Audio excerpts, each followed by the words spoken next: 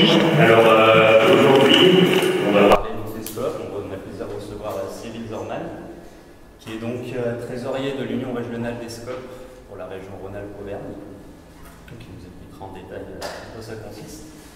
Et donc cette euh, conférence, on va la faire en deux phases. Avec d'abord, euh, on va visionner le documentaire L'usine est à nous de Nicolas Jox, donc qui parle du combat de l'ancienne boîte Unilever qui faisait l'été éléphant, qui a été donc délocalisé en Pologne et qui sont battus pendant 1336 jours pour obtenir le droit de reprendre leur entreprise en scope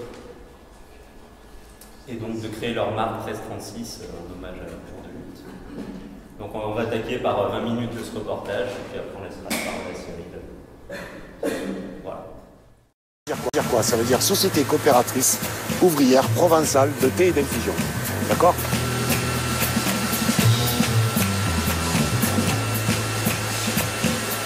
Les conditions du de travail font que vous êtes heureux, vous n'êtes pas heureux après à la maison. C'est très important. C'est pour ça que nous, dans le modèle d'entreprise qu'on veut mettre en place, c'est ce qui prévaut sur le reste. C'est-à-dire que nous, on veut que, j'en parle, j'en ai les frissons. C'est pas, c'est très important ce que je vous dis. Pourquoi? Parce que dans ce système-là, là, on reconnaît l'humain. On reconnaît qu'est-ce que, ce qu'on met en avant. C'est pas obligatoirement le business, l'argent. non, c'est l'humain. L'humain avant toute chose. On veut que l'humain arrive avec la banane et qu'il reparte avec la banane. Ça, c'est pour nous, c'est, c'est primordial. Si on n'arrive pas à atteindre ce but-là, même si on fait de l'argent, pour moi, on aurait échoué.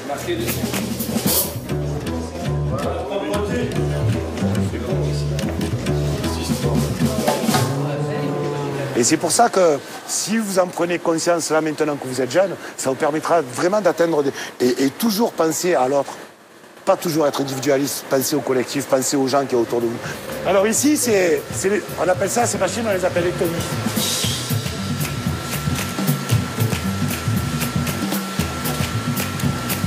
Alors vous voyez comme elle est grande l'usine quand même. C'est pour ça que je vous dis, euh, quand vous voyez le nombre de personnes qu'on y travaille et combien on pourrait être, vous avez à peu près un aperçu de ce qu'on pourrait faire si on vend vraiment nos boîtes et qu'on arrive à, prospérer.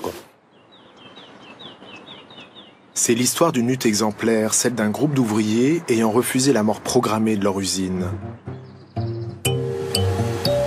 En mai 2016, je me rends dans l'usine de Scopti à Gemnos, près de Marseille. Cette coopérative de thé et d'infusion vient d'être créée par d'anciens salariés de la multinationale Unilever à l'issue d'un conflit social. Désormais, l'usine est autogérée par des ouvriers, plus de hiérarchie, plus de dividendes reversés aux actionnaires. L'usine appartient à ceux qui y travaillent. Un coopérateur, une voix. L'entreprise devient un lieu de participation démocratique, un laboratoire social où le rapport au travail se réinvente. C'est ce qu'on est en train de faire là, valider les choses. Ça ne veut pas dire qu'une fois que la réunion... Chaque mois, une assemblée générale réunit l'ensemble des coopérateurs. C'est le poumon démocratique de la SCOP. Ou, ou 21h, hein, pour ceux qui veulent, c'est pas un problème. Copti est une société anonyme à capital variable dont l'objet est la production et la commercialisation de thé infusion et autres produits alimentaires. Les coopérateurs ont élu leurs dirigeants. Olivier Leberquier et Gérard Cazorla, les anciens délégués syndicaux CGT, et Marc Descugy, un technicien de La maintenance. société est détenue par 58 coopérateurs disposant chacun d'une voix. Les statuts de la société précisent le mode de fonctionnement de la SCOP. Donc la première question à l'ordre du jour, c'est le rapport de gestion du conseil d'administration au 31 décembre 2015. L'Assemblée approuve les comptes et le bilan de l'exercice 2015 qui est pour. Qui est contre? Donc à l'unanimité, Gaulle qui au conseil d'administration. L'idée, c'est qu'on soit complètement transparent. Il n'y a rien, il il y a à cacher, à qui que ce soit. On en discutera entre nous tout à l'heure. Euh, ça, ce genre de bilan, euh, avant, c'était réservé à une petite élite. Et encore, on avait un présent au conseil d'administration, euh, en l'occurrence c'était moi, sur la dernière période, où il n'y avait aucune possibilité de s'exprimer. Et même quand on posait des questions, les réponses, on ne les avait pas. Donc là, c'est pas la même chose. Là, on est entre nous et chacun, euh, c'est à nous tous qu'elle appartient, ce, scope. C'est pas ni à ceux qui sont de ce côté de la table, euh, ni. euh, tout le monde en a un petit bout. Faire en sorte que ça soit pas que dans les statuts qu'il soit écrit une personne, une voix, mais que ça soit dans la réalité de la vie d'entreprise, que chaque coopérateur puisse bah, parler, s'exprimer, prendre la décision. Alors on est conscient qu'aujourd'hui on est dans les balbutiements, on démarre. Certains ont déjà franchi le pas et il n'y a pas de souci, ils s'accaparent les choses, même y compris sur les aspects qu'ils maîtrisaient pas forcément avant, les aspects financiers. Une partie, euh, bah non, ils sont pas encore là, ils sont un petit peu, ils suivent un petit peu et, on espère bien que dans, les, années qui vont venir, euh, bah, tout ça, ça va bien marcher et que l'ensemble prenne bien leur place. 2010, la multinationale Unilever annonce son intention de délocaliser en Pologne l'usine Fralib, une de ses filiales produisant à Gemnos le célèbre thé éléphant. L'usine est rentable, mais Unilever veut accroître encore davantage ses profits. Pendant 1336 jours, près de 4 années, les salariés se battent. Grève, occupation d'usines. La mobilisation est générale contre le géant mondial de l'agroalimentaire qui dégage 5 milliards de dollars de bénéfices par an. La direction ce matin nous a présenté le projet de fermeture de l'usine de Gemenos, prétextant euh, la compétitivité du site, bien évidemment, euh, les coûts. À l'intérieur, là, il y a un outil de travail. Il n'est pas à eux, il est à nous. Il n'est pas à eux, il est à nous. Il n'y a pas un boulon qui va partir d'ici. Pas un boulon. On s'entende bien. En jouant la politique de la terre brûlée. Les Fralib, avec leurs délégués syndicaux, mènent une véritable guérilla judiciaire. La justice annule trois plans sociaux. En 2014, les salariés sortent victorieux d'une lutte de 4 ans. Ils obligent Unilever à leur céder les machines et à leur verser 2,5 millions d'euros pour permettre le démarrage de la coopérative.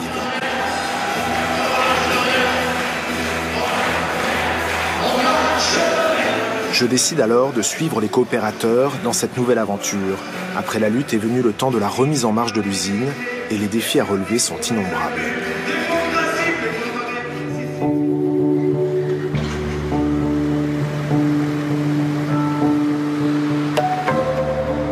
5h30 du matin, la première équipe rejoint les lignes de production de Scopti. Pendant la lutte, les ouvriers se sont battus pour préserver leur outil de travail.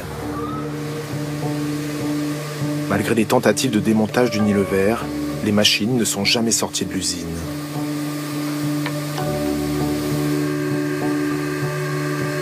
Jean-Michel Maslow les connaît bien. Cela fait plus de 30 ans qu'il travaille ici comme opérateur on est restés tous ensemble. Il y a même des. Il y a eu pendant la lutte, pendant, pendant qu'on a lutté, on a quand même eu des gens que moi je côtoyais par le bonjour. Et que maintenant on a lié plus d'affinités. On, on est vraiment soudés. Il y a des liens d'amitié qu'on avait avant, parce qu'on travaillait ensemble, mais qui étaient moins forts que maintenant. Les sachets sont très beaux. Le millard il tient bien, le fil tient bien. Il faut que le 25 sachets soit comme ça. Voilà, comme ça je démarre à 6h30. Michel. De rien. Donc là, j'ai eu le top labo, la dégustation a été faite. Donc je peux démarrer à l'heure qui m'a. D'ailleurs, il a marqué 6h30, je démarre à 6h30.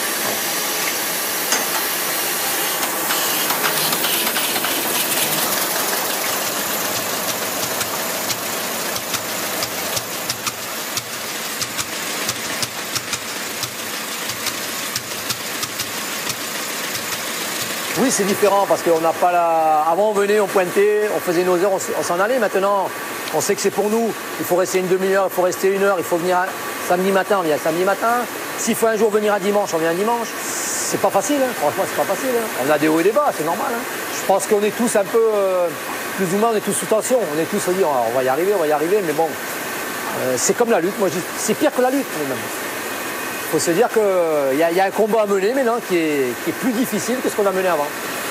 Si on peut nous mettre les bâtons dans les roues, on nous mettra les bâtons dans les roues. Donc c'est à nous d'être vraiment, euh, de se mobiliser, d'être forts euh, tous ensemble, de faire un, seul. Voilà, on est 50 dans l'usine, mais il faut pas un seul groupe, une seule personne. Voilà. 50 et on y va.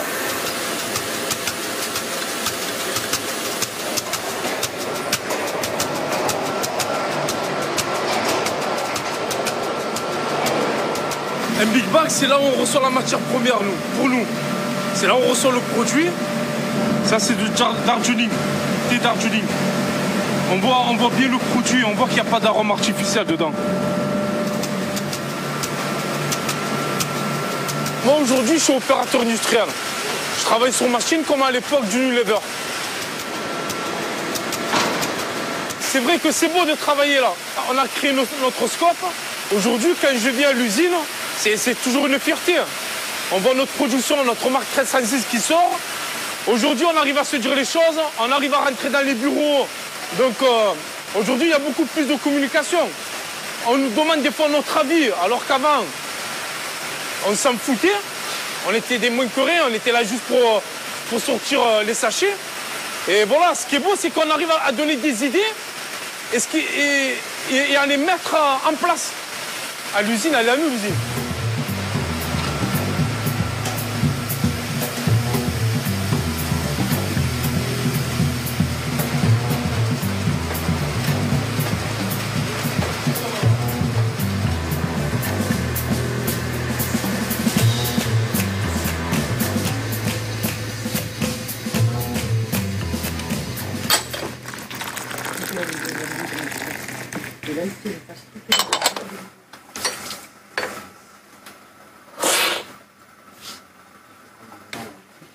Excellent.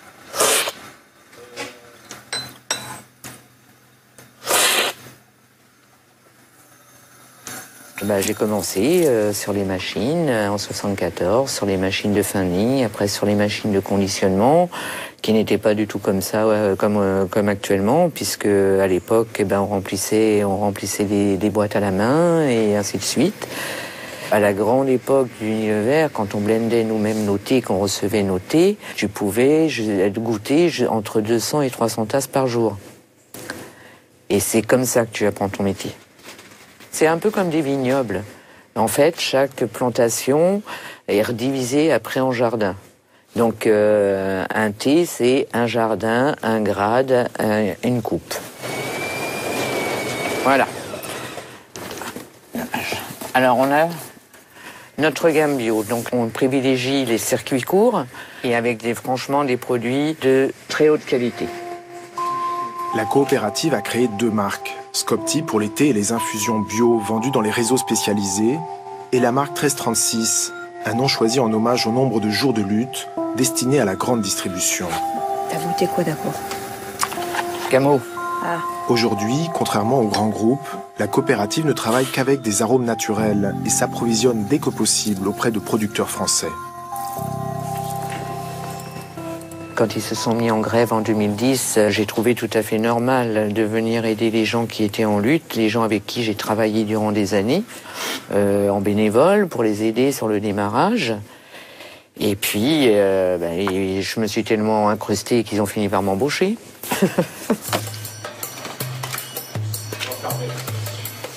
à la base, si, on avait été logique, si on avait, si on avait regardé les business plans, si on a regardé, on aurait commencé peut-être à 10, à 10, après 11, là, toi, embauché petit à petit, sauf qu'on n'était pas là parce qu'on a fini la lutte à, je sais plus, 67, donc il a resté à.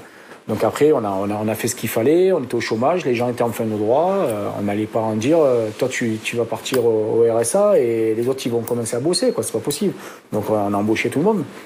Donc c'est vrai que dès le départ, on était 40. Quoi. Donc commencer une boîte à 40, c'est sûr que c'est. Mais bon, c'est, voilà, c'était notre vision des choses. Hein.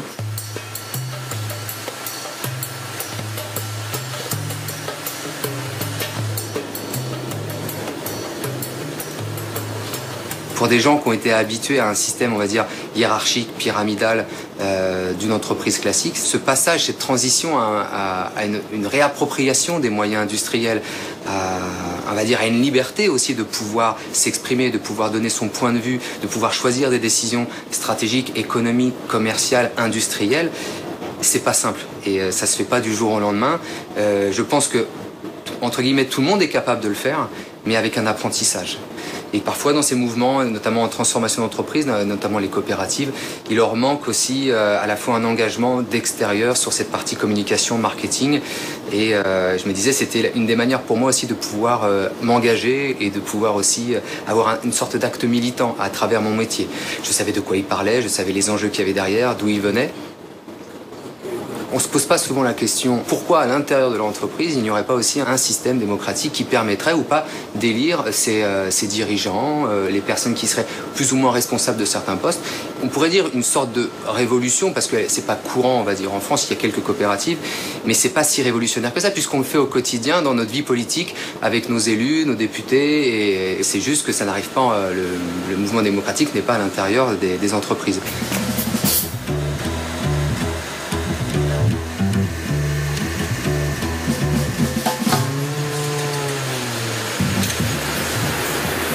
Là, on tourne à 450, les deux 415. 415. Et l'autre aussi Pour piloter la SCOP, les salariés ont élu une direction collégiale. Marc Descugier en fait partie. Il gère simultanément l'approvisionnement en matières premières, le planning des équipes, l'état des machines. Il veille aussi aux économies d'échelle pour ne pas alourdir les coûts fixes déjà considérables de l'usine. Je suis directeur général et je m'occupe de la maintenance et de la production ce poste-là, il, il en fallait bon voilà, c'est tombé comme ça. Euh, on le fait pour la SCOP. C'est une tâche euh, voilà, à exécuter. Puis voilà.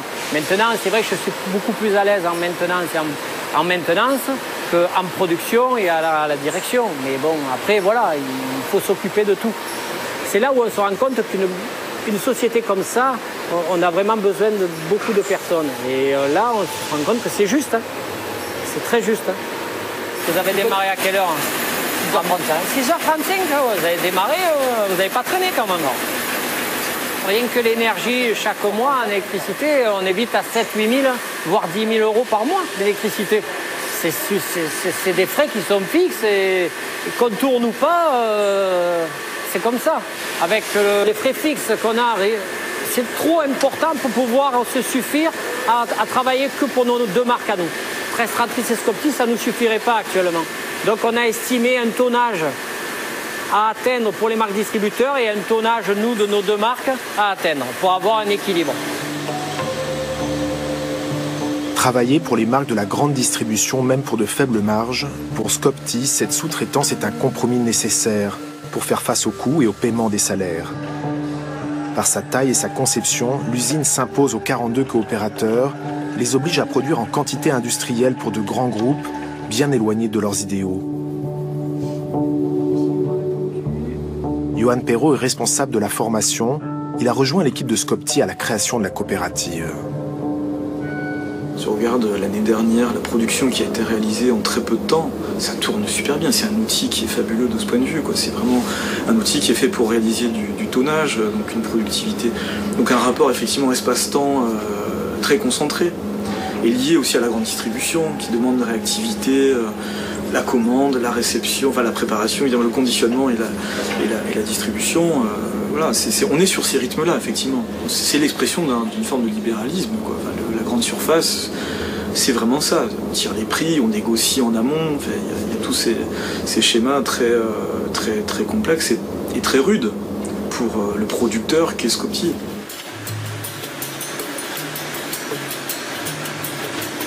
On s'est lancé dans cette aventure, euh, c'est clair aussi qu'on savait qu'on pouvait réussir ou on pouvait ne pas réussir. Le truc, c'est de mettre tous les atouts possibles pour réussir. Sachant qu'on allait voir, avoir des écueils, puisqu'on est une usine euh, euh, récupérée, gérée par les ouvriers et récupérée par une lutte qui a été très très médiatique à tel point qu'il y a des directeurs de magasins qui ont clairement dit que dans leur magasin, il n'y aura pas la marque 1336 c'est parce que aussi ça représente notre lutte, les jours d'occupation qu'on a fait, les jours et les nuits d'occupation qu'on a fait dans l'usine. Et donc voilà, on est typé lutte, euh, c'est clair. Hein.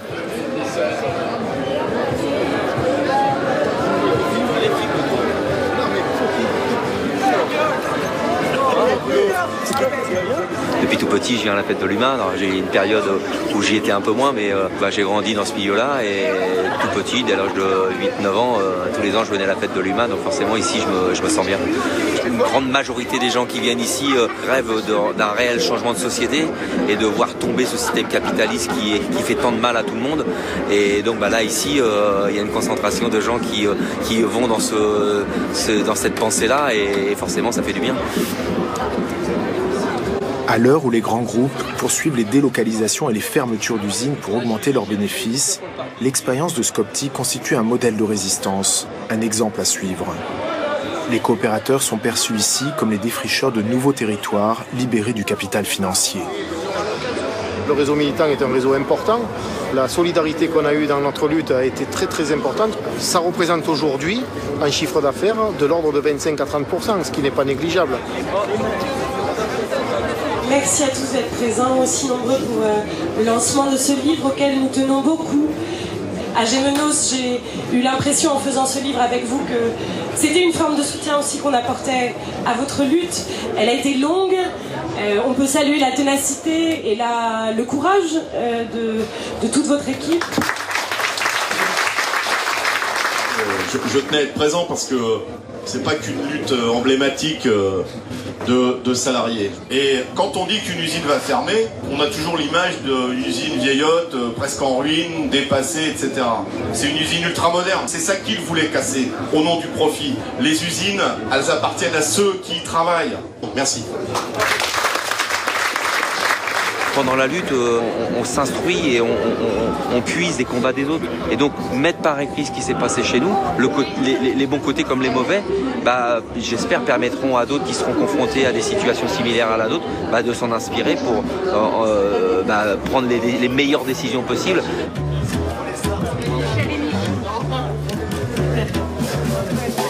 comme ça, j'ai... Il avait la main. La Scopti, les copains de Fralib, je veux dire, c'est un exemple pour nous. On a beau lutter dans nos boîtes, c'est vrai qu'arrive un moment où on a, on a l'impression qu'on qu lutte pour, rien, parce qu'on n'arrive pas à avoir euh, forcément des résultats. Et là, ils sont un exemple, ça fait, ça fait plaisir qu'il y ait des réussites. Si eux, ils ont réussi, pourquoi pas d'autres?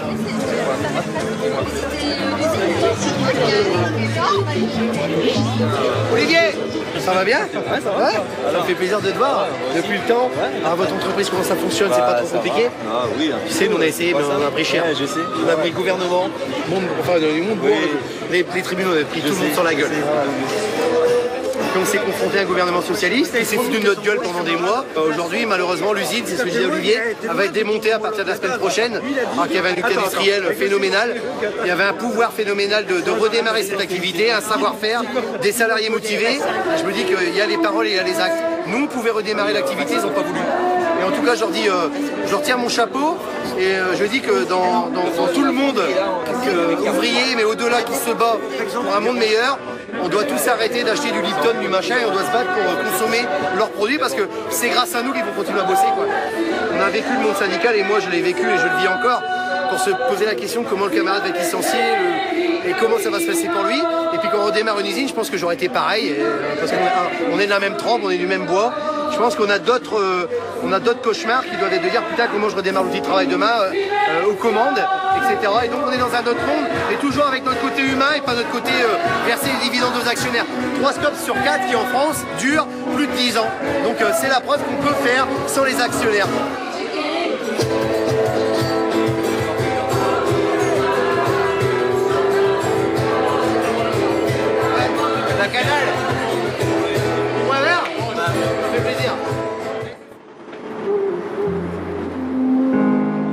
Si la lutte des Goodyear n'a pas pu aboutir, les Scopti, eux, s'accrochent, se mobilisent pour que la tentative n'échoue pas. La coopérative offre un cadre nouveau où déployer les énergies, un esprit d'initiative différent. À Gymnos, les salariés font preuve de créativité pour faire tourner les machines. Dans l'atelier d'usinage, René Fiquet déjoue les obstacles techniques pour produire les sachets de thé. Bah Aujourd'hui, je, fais des, épées de guidage. C'est ce qu'on appelle un peigne pour arriver à ce que euh, l'enveloppe, euh, entre guillemets, plastique, transparente, au niveau du guidage, ça correspond exactement à ce que j'attends. Les machines n'étaient pas conçues à l'origine pour passer des enveloppes transparentes. La modification coûtait très cher, c'était le rachat d'autres machines, et ce sont des machines qui sont proches du million d'euros, donc euh, on n'avait pas l'argent pour mettre un million d'euros sur la table. J'étais dans la lutte euh, depuis le début et ce sont des gens que, enfin des, des, personnes que je connais depuis euh, plus de 40 ans pour, pour certains, et d'autres qui ont été, quand j'étais responsable, qui ont été tous sur, pratiquement sur, sur ma responsabilité. c'est des collègues de travail, mais derrière ça, il y a l'amitié. Chacun avait euh, à l'époque une, une, une fonction définie. Aujourd'hui, il n'y a plus une fonction définie. Euh, chacun euh, doit se retrouver, prendre des initiatives et voilà. On n'est pas à un poste, on n'est pas lié à un poste. Chaque salarié ici, euh, un jour est sur une machine, demain est un autre poste, après-demain encore un autre poste. C'est le but de la SCOP. C'est un espèce de dynamisme euh, communicatif qui fait que les gens ont envie, euh, les salariés ont envie de, de regarder qu'est-ce qu'on fait. Bah, je voudrais le faire aussi. Explique-moi comment on fait. Euh, c'est ce qu'il faut avoir, c'est euh, venir avoir un plaisir à venir travailler. Et la vie, elle n'est pas morose tous les jours. On rigole, on blague. On a décidé d'un projet. Le projet, il faut qu'il aille jusqu'au bout, il faut qu'on le réussisse. Point final, il n'y a pas de raison que ça ne marche pas.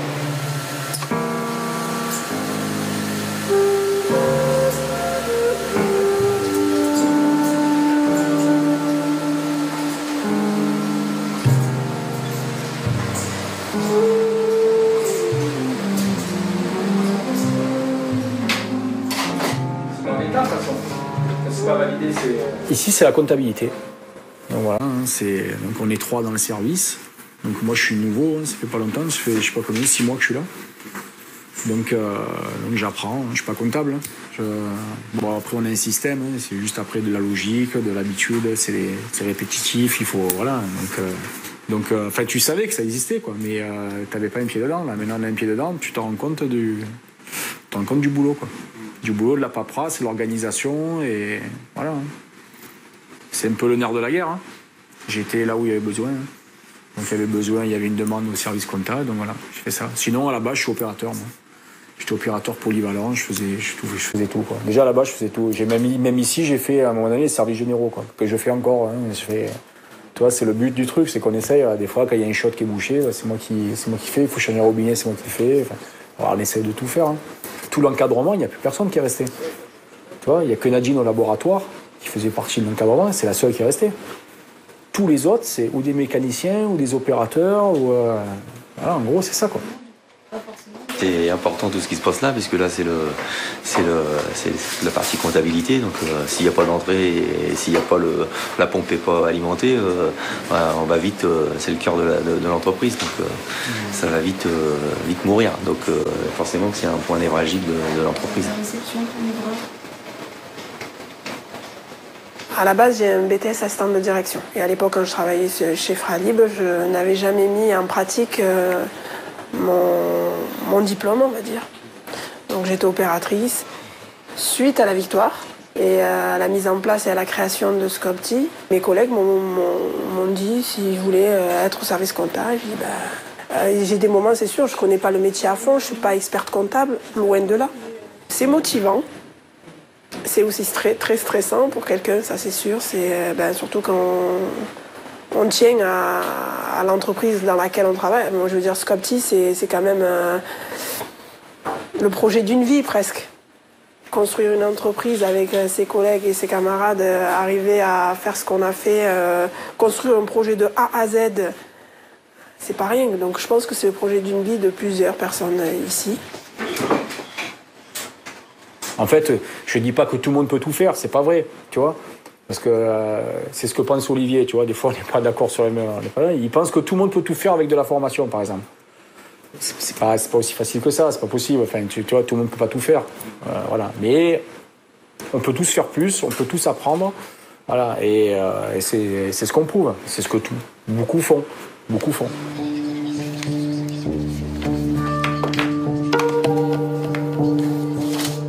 La coopérative, lieu de polyvalence et d'apprentissage.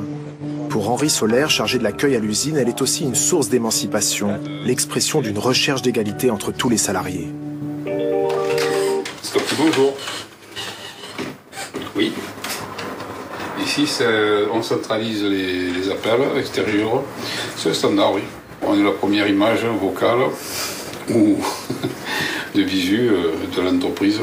Donc, je pense que pour, euh, pour l'entreprise, c'est important.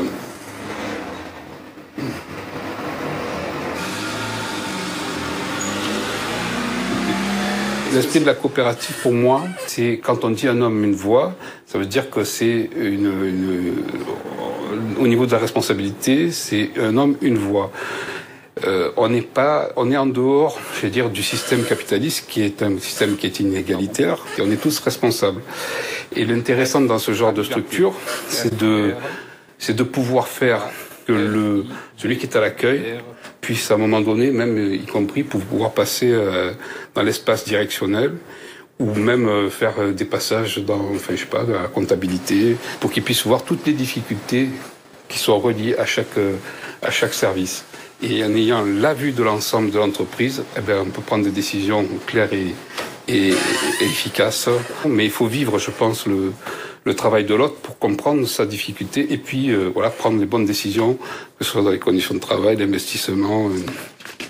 Il y a quelques semaines, nous avons parlé de la fermeture de notre usine en France à Gémenos pour délocaliser en Pologne. Nous reviendrons travailler ici quand vous serez décidé à travailler pour rien du tout. Pour rien Pour rien Pour rien Vous allez faire disparaître la plus petite miette de plaisir qu'ils ont à travailler pour nous. Bien, monsieur le directeur d'usine, le jour des licenciements, vous serez seul face aux salariés en colère. Vous utiliserez donc la provocation.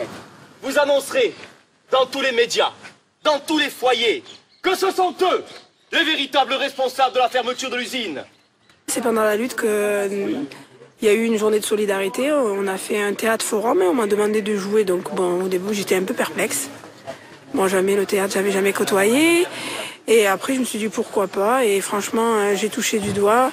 Bon je suis qu'amateur, mais c'est vrai que c'est passionnant. Je pense que l'entreprise doit promouvoir la culture justement parce que euh, les ouvriers souvent sont coupés du monde culturel, du fait euh, de manque de moyens, parce que souvent la culture n'est pas abordable parce que ça permet une ouverture d'esprit, euh, ben justement d'avoir un esprit critique, d'être euh, ouvert à d'autres métiers, à d'autres sensibilités, et je pense que ça permet aussi d'être plus tolérant.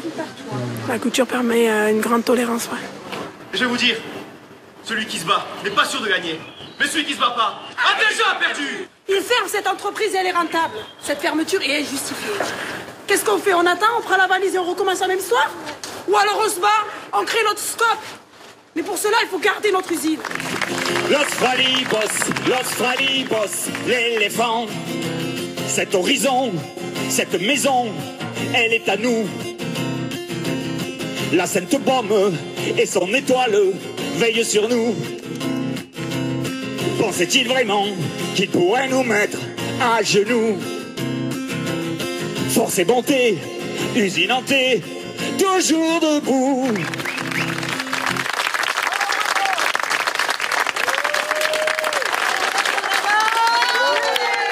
Me fait toujours plein d'émotions. J'ai toujours la larme à l'œil euh, quand euh, j'entends ça. Et, voilà, ça me retrace tout. Euh. c'est toujours, toujours je pleure, c'est comme ça. je ne peux pas me retenir.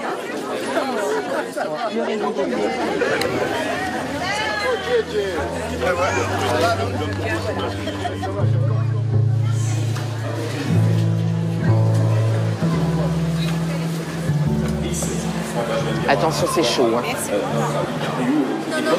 Autre chose Il est là. La deuxième à moins 50. La deuxième à moins 50 aujourd'hui. Si vous voulez profiter de la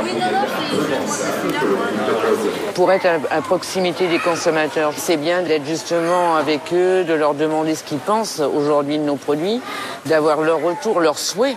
Ça, c'est primordial. Vous voulez pas le goûter? Je vous le prépare. Non, avant d'acheter.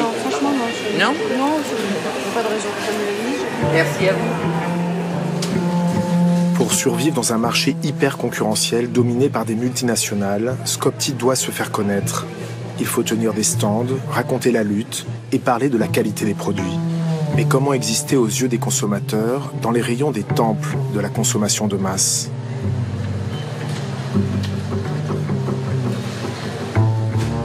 Sans budget publicitaire, la tâche est rude pour les coopérateurs. Certaines personnes nous reparlent de ce qu'on a vécu, ils connaissent l'histoire, d'autres ne connaissent pas, donc on leur, explique, après ils disent Ah oui, c'est vrai, c'est les extra livres. Et cet impact, je pense qu'après, c'est du bouche à oreille, comme me disait une des dames tout à l'heure. Elle dit Moi, je prends vos produits, je les emmène en Bretagne, et je fais de la pub pour vous en même temps. Donc les gens, quand je monte en Bretagne, que ce soit ma famille ou autre, ramenez-moi ces produits, parce qu'en Bretagne, il y a quelques magasins qui ont nos produits, mais pas tous. Et cet impact, je pense que médiatiquement, ça fait comme, ça fait comme la lutte. Il y a la solidarité extérieure qui fait notre propre publicité. On s'investit peut-être encore plus qu'avant, parce que c'est notre, notre outil de travail, c'est notre usine. Il faut la faire fructifier, il faut la faire monter en puissance. Je sais qu'ils ont fait grève pendant 1336 jours pour éviter que leur usine ferme. Et à partir de là, c'est une marque française en est sortie. Et c'est pour ça qu'on consomme plutôt 1336 que euh, Lipton ou euh, autre chose. C'est l'engagement des gens pour leur travail. C'est ça qui était intéressant dans leur démarche. Pour quelques centimes de plus, euh, autant, consommer 1336. Quoi. On a des commerciaux qui sont remarquables, mais ils n'ont pas vécu notre histoire. Donc comment tu veux faire passer certains messages si les gens n'ont pas vécu l'histoire? On a quoi commerciaux régionaux et après tu as les commerciaux par, euh, par enseigne ou par secteur. Euh, malheureusement, euh, la plupart, ils, ils n'ont même pas vu l'usine. Donc ils connaissent même pas la fabrication. Si tu prends ce produit-là, il m'a fallu plus d'un an avant de, avant de faire mon choix sur la qualité du produit. Comment un commercial peut expliquer ça? Non? Non. Alors on essaie de partir ça. Non, vous n'allez pas me faire ça. Vous allez partir avec. Ben écoute. si tout le monde y met un peu du sien, que tout le monde met de la volonté dans le travail, je pense qu'on peut, on peut petit à petit, je dis pas dans, un an, deux ans, mais dans trois, quatre ans, on peut monter en puissance et prendre le dessus sur les, multinationales. D'ailleurs, je pense que ça leur fait peur tout ça, parce que bon, les pubs qui font à la télé, c'est pas pour rien non plus. Hein. Nous, on n'a pas les moyens de les faire, mais eux, ils les font justement pour euh, faire repartir leurs produits. Ils font des nouveaux produits. Nous, on n'a pas les moyens de faire des produits euh, tous les ans, 4-5 produits, c'est pas possible. C'est impossible. Donc on fait avec les moyens du bord.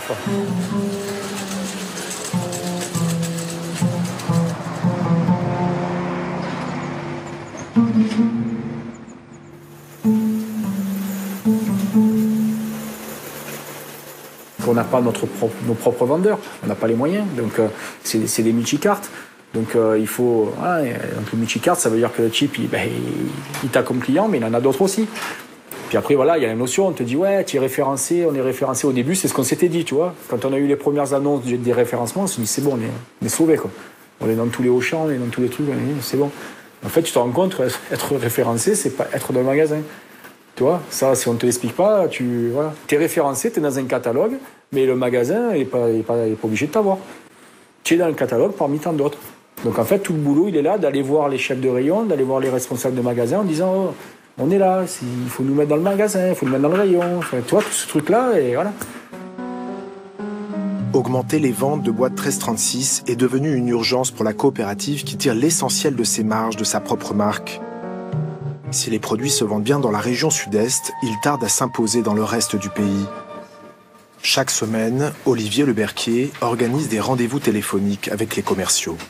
Parce que la crainte, elle est là. Hein. Euh, il faut absolument qu'on puisse relancer et que ça ne tombe pas. Voilà. Moi, je l'ai toujours dit, Olivier, depuis le départ, il y en a une qui décide, c'est Madame Michu, et ça, ben, c'est pas si facile que ça de. Ouais. Premier résultat, ils étaient bons au magasin parce qu'on avait de bonnes sorties, etc. C'est tombé après. Il faut intéresser Mme Michu en naturalité, certainement. Hmm. Le social aussi, certainement. C'est des valeurs qu'on peut, qu'on peut communiquer d'une autre façon. J'aimerais bien que qu'on y arrive, ouais. Ça marche. Ok. À bientôt. Philippe. Salut, ciao. Sur l'avenir, je, le dis comme ça. Si on avait la certitude et si on avait les moyens financiers, des gens qui nous suivent ou des, des acteurs financiers qui nous, où on est sûr que les 3-4 prochaines années, euh, on n'aura pas le, des soucis de trésorerie, je suis certain qu'on y arrivera. Je suis certain parce que on voit bien l'évolution, que ce soit sur les marques distributeurs comme sur notre propre marque. Ça va dans le bon sens, on, on y va tout doucement. Maintenant, à un moment donné, est-ce que la montée en puissance et le besoin en trésorerie, bah, est-ce qu'on va toujours rester comme ça ou est-ce qu'à un moment donné, il va pas y avoir, ça va pas coincer et que alors qu'on a euh, tout, on a les contrats, on a le boulot, on a tout ce qu'il faut pour faire fonctionner cette entreprise, on sera pas, on n'aura pas un souci de, trésorerie pour avancer. Là aujourd'hui, j'ai pas la réponse à cette question-là. C'est en ça que je suis inquiet parce que j'ai pas de certitude là-dessus. Autant j'avais beaucoup plus de certitude dans le combat qu'on a mené avec 1336, autant dans celui-là, c'est plus compliqué parce que bah, là, il y a des acteurs euh, qui sont pas nos, qui sont pas des, des, militants comme nous, qui sont pas des gens qui, euh, voilà, on est, on est dans le système. Est-ce qu'ils vont nous suivre jusqu'au bout euh, Là, gros point d'interrogation. Malgré ces incertitudes, la coopérative poursuit son développement. Oh, ça va Ça va Tu vas bien Ça va Et toi Bonjour monsieur. Ce jour-là, des invités de marque visitent Skopti. Venus spécialement du Vietnam, une délégation de producteurs de thé découvre l'usine. Ils représentent des coopératives de la province du Yen Bai.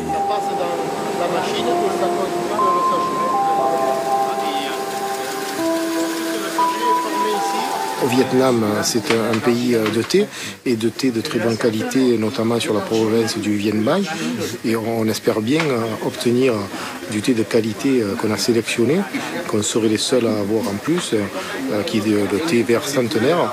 donc c'est important pour nous parce qu'on est dans la démarche à la fois de qualité, mais à la fois de partenariat équitable, tout le sens de, de ce qu'on a porté.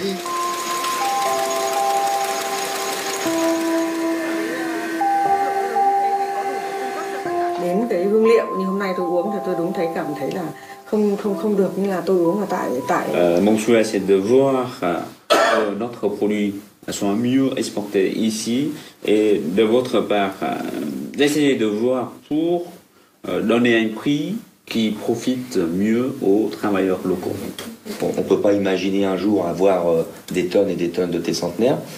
Mais nous, pour nous, l'idée, et ça, on l'avait, c'est pour ça qu'on le, on le projette de cette manière-là, c'est que ça soit un produit euh, d'approche, un produit haut de gamme, standard, dans des quantités restreintes, qui permettent de positionner la relation avec le- les partenariats au Vietnam sur un produit d'accueil, et qu'après, d'autres produits style le thé au long pourraient être euh, commercialisés euh, chez nous, avec là des quantités beaucoup plus importantes. Après 3 minutes. 3 minutes. Pour, le thé, pour ce qui est des thés, euh, thé noir, thé nature. Sans aromatisation, c'est 3 minutes, de 2 à 3 minutes. Il va falloir qu'on discute euh, des tarifs, bien sûr, mais euh, nous, euh, cette discussion-là, on l'a, c'est pas l'essentiel pour nous. D'abord, l'essentiel, c'est qu'on puisse créer des liens et un partenariat avec eux, et que chacun y trouve son compte. Le pognon à tout prix, nous, c'est pas ça qui nous intéresse au premier chef. Nous, ce qui nous intéresse, c'est les relations, les partenariats, et euh, pouvoir travailler et vivre de notre travail. Hôm qua cũng đã gửi cái sản phẩm chè của chúng tôi ở ngoài kia mà nó không phải là thương hiệu của chúng tôi. Oui, ça tire. Còn bây giờ đây là cái Quelques mois plus tard, Marc Décugy, le directeur de Scopti, se rend au Vietnam visiter les coopératives. Il filme les plantations de thé centenaire. Et nous voici dans les hauts plateaux, là où pousse le chan. Ce partenariat fait entrer Scopti dans un échange direct, sans intermédiaire, avec les producteurs vietnamiens. Loin de la mondialisation sauvage, la coopérative se projette dans un commerce équitable. À En France aussi, Scopti noue des relations directes avec les producteurs. Son tilleul vient désormais de la Drôme provençale. va à Beauvoisin chez Jean-Jacques euh, Cornan et Letty, sa femme. Euh, donc chez euh, les deux personnes qui sont à l'origine de, bah, du partenariat qui existe depuis maintenant trois ans entre Scopti et, euh, les- le syndicat de producteurs de tilleul de Buis-les-Baronnies. Pendant la lutte euh, des Fralib, euh, ils se disent pourquoi pas relancer cette filière et en travaillant désormais avec, le- avec les, les anciens salariés de Fralib qui sont en lutte à ce moment-là. Maintenant, il y a un partenariat.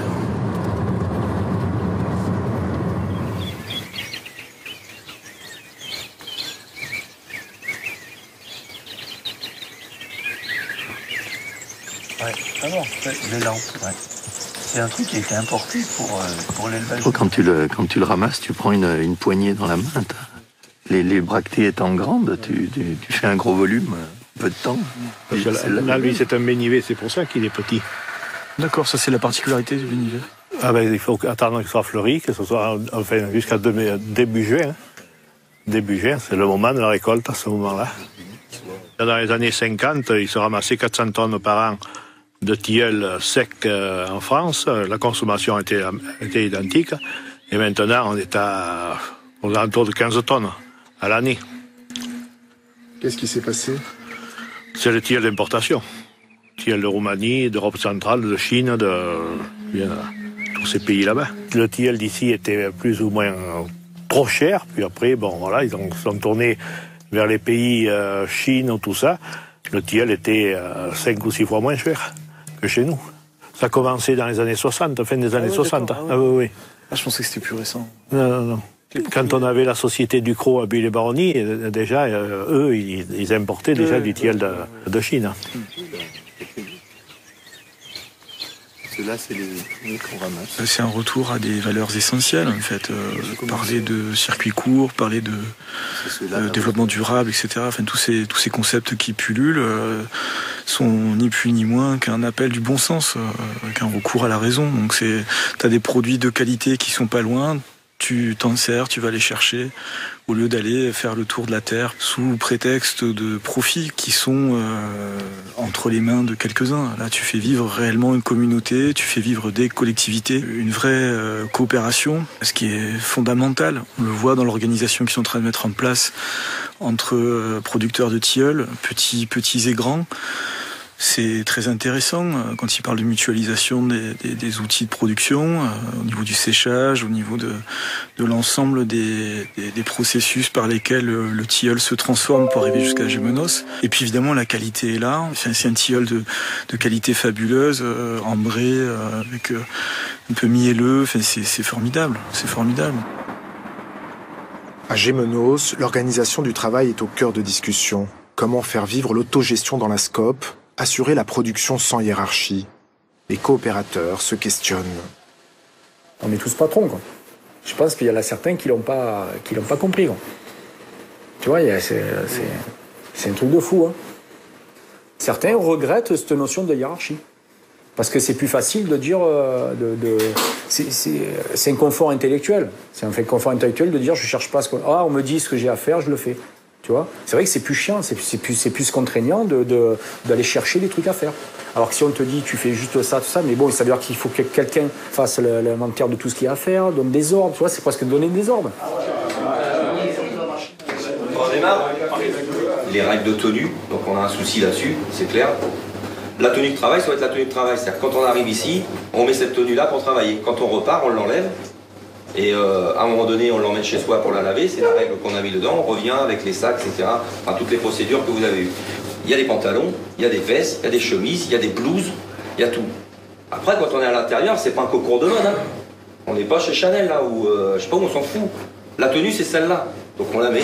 Voilà, c'est tout. Je pense que tout le monde est bien au courant. Travailler en tenue sur les lignes de production, une règle à respecter parmi tant d'autres dans la filière agroalimentaire. Mais l'autogestion n'a rien d'évident, c'est un apprentissage, une rupture radicale avec l'ancienne organisation du travail.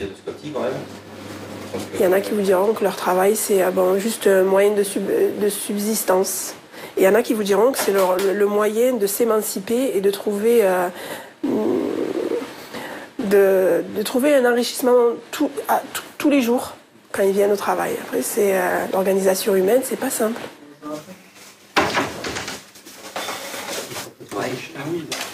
Le constat est quand même plutôt toujours positif par rapport à où on en est aujourd'hui en si peu de temps.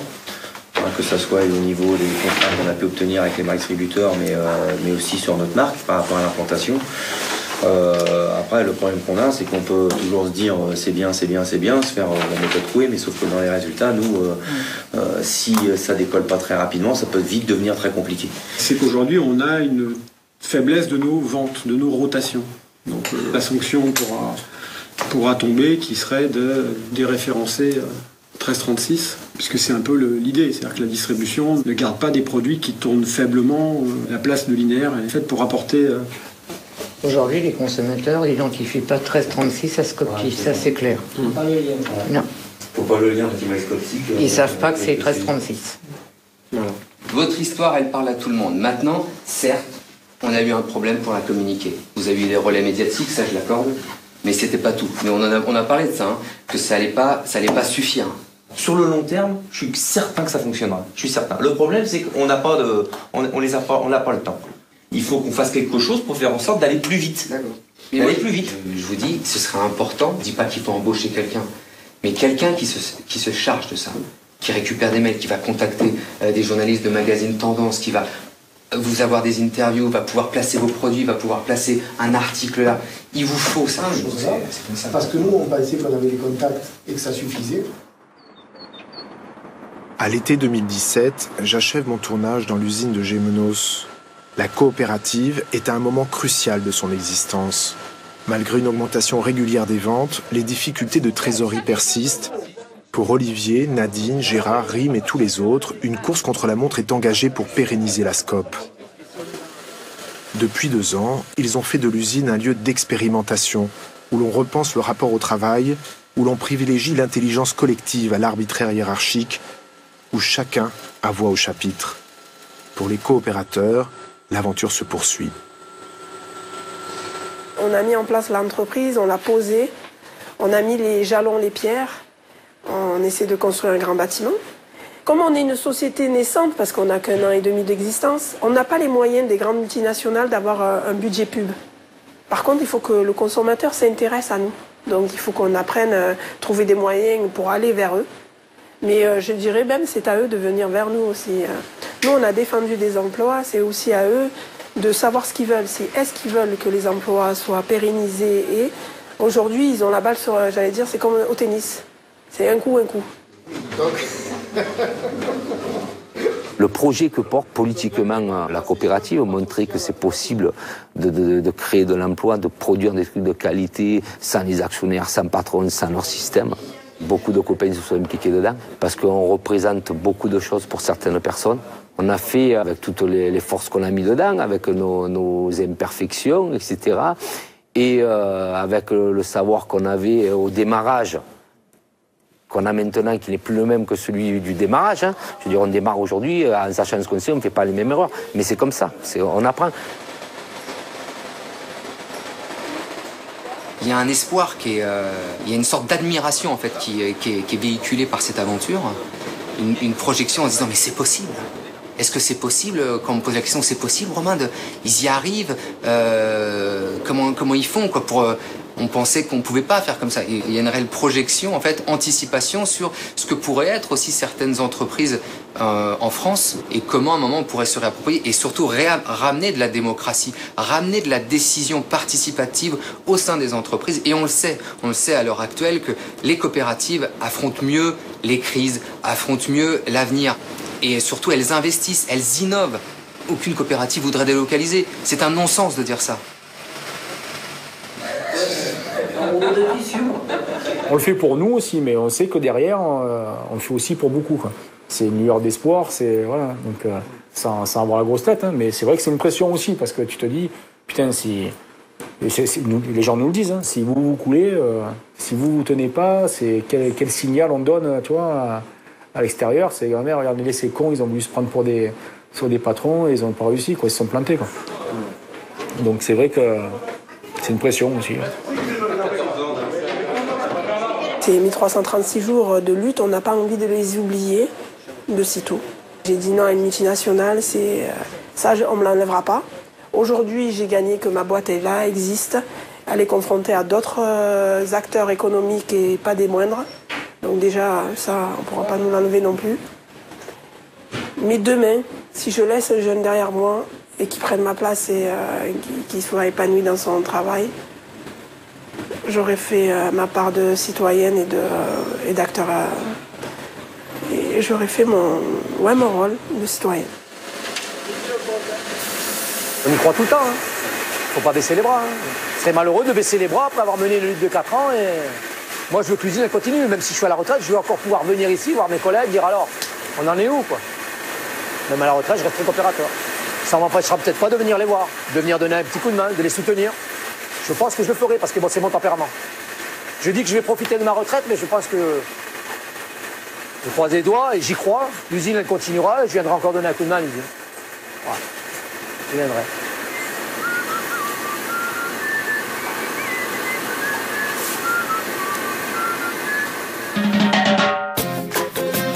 Nous, ça fait trois ans qu'on lutte. Trois ans qu'on lutte, on en a vécu euh, pas mal. Los Maribos, Los Maribos, l'éléphant. Cette horizon, cette maison, elle est à nous. La Sainte Baume et son étoile veillent sur nous. Pensait-il vraiment qu'il pourrait nous mettre à genoux Force et bonté, usinanté, toujours debout. Je vais, je vais juste rebondir deux secondes là-dessus, parce que ce qui a été dit, est- je trouve qu'il est bien fait. J'avais pas vu le début, mais il, est plutôt bien fait. Moi, je vais revenir sur, d'abord, à, à présenter ce que c'est le mouvement. Parce que là, ça présente bien, limite rapidement, ce que c'est une scope, etc. Mais il faut savoir qu'en fait, c'est pas dit là, mais en fait, il y a des unions régionales des scopes et qu'on est organisé, en fait, euh, donc il y a, en- il y a 3000 scopes en France. C'est une société sur 1000, donc c'est pas énorme. On n'est pas nombreux. C'est-à-dire, c'est une sur mille. Voilà. Donc euh, voilà, en, Rhône-Alpes, c'est 500, 500 scopes. Et en Isère, pour donner leur sauf, c'est 100 scopes. On a fêté la centième scope l'année dernière, donc dis 100, oui, en- en- autour de 100. Donc ça donne une, idée du nombre de scopes qu'il qu'il y a, sachant qu'en Isère, c'est l'endroit où on en crée le plus pour des raisons inconnues. Je pense des... Non, mais quand je dis des raisons, pour être honnête, c'est des raisons de territoire. C'est-à-dire que les scopes qui se créent, il, faut savoir qu'on parle beaucoup de ces scopes-là. C'est-à-dire qu'on pourra parler, bah, Ecopla, on en a parlé. Alors, c'est pas une ça a périclité, hein, mais ça a été une lutte qui n'est pas arrivée au bout.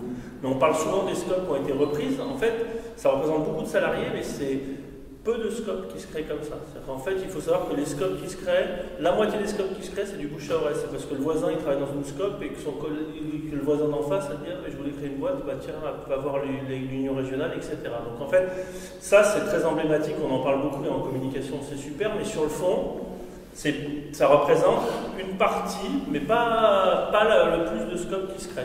C'est-à-dire qu'il y il y a tout, il y a de la reprise en association, il y a de la transformation de- des- on va dire tout bêtement, hein, des, des gérants qui cèdent leur entreprise en scope, il y a euh, du ex nihilo, il y a de tout.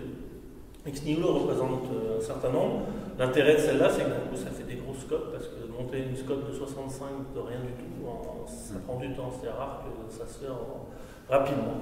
Donc voilà, du coup, c'est juste pour dire qu'il y a une union régionale des scopes, par exemple sur Rhône-Alpes, c'est 25 salariés. Ces 25 salariés, ils sont financés parce que toutes les scopes, donc les 100 scopes, euh, bah, pas les 100 scopes du coup, les 300 scopes de, de, de ou- ou- oui 300, je crois pas, je vois à peu près ça, je dis 500, donc 500 scopes, excusez-moi. Donc les 500 scopes, elles financent, donc elles donnent une partie de leur chiffre d'affaires, disons, c'est pas calculé sur la masse salariale, je ne vais pas rentrer dans les calculs, mais en gros, il y a une partie des bénéfices qui, financent le mouvement, qui financent les salaires des, délégués, qui sont là aussi bien pour aider les scopes entre elles. C'est-à-dire qu'en gros, pour aider bah, quand il y a des problèmes de financement, quand il y a du développement, quand il y a, ça, peut être tout ça. Aussi bien pour la création, donc du coup, il y a un soutien c'est les personnes qui aident à, monter les structures. Par exemple, là, sur ça, on, on l'a vu à un moment sur ça, on voyait quelqu'un sur le côté, on fait bon, moi je le, je le voyais, mais c'est une personne de l'Union régionale qui est un délégué qui est là aussi pour aider à tout le soutien financier, à tout l'ingénierie derrière, parce que euh, ce qu'ils ont expliqué, c'est que c'est vrai, c'est compliqué de passer d'une structure complètement hiérarchique à un fonctionnement en scope. Il faut, il faut que tout le monde arrive au niveau de savoir lire des comptes et tout ça, ce qui n'est pas évident, surtout, euh, on va dire, c'est plus évident dans les sociétés de services, qui sont des sociétés où on fait beaucoup, on va dire, c'est du service intellectuel, que quand on travaille en manutention que d'un coup derrière, il faut gérer une boîte de 60 personnes, il y a toute une partie comme ça. Donc ces unions régionales qui font ça, et faut savoir qu'il y a des outils financiers, c'est-à-dire que là sur le financement, mais sur le financement d'autres sociétés, il y a toujours l'union régionale qui va mettre des sous. Et ça, par exemple, le- pour donner une idée, le, choix de financer, c'est des bénévoles de, de différentes scopes.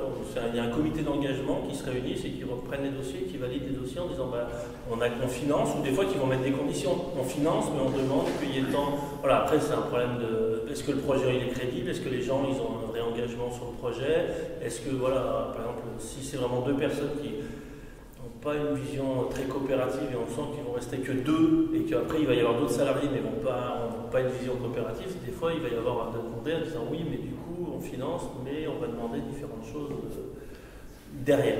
Donc voilà, ça c'est juste pour expliquer qu'en gros derrière il y a quand même tout un mouvement de, personnes qui essaient de défendre ça et qui a vraiment une solidarité entre les scopes. Ça c'est juste euh, pour expliquer parce que souvent on n'en parle jamais, c'est pas des choses qu'on qu'on voit beaucoup, mais si tout, ça arrive, c'est que derrière il y a des gens qui, bossent, il y a des délégués et il y a, ça. Voilà. Ça c'est juste pour parler du mouvement. Euh, moi, je vais essayer de rap- rapidement, je vais me présenter moi.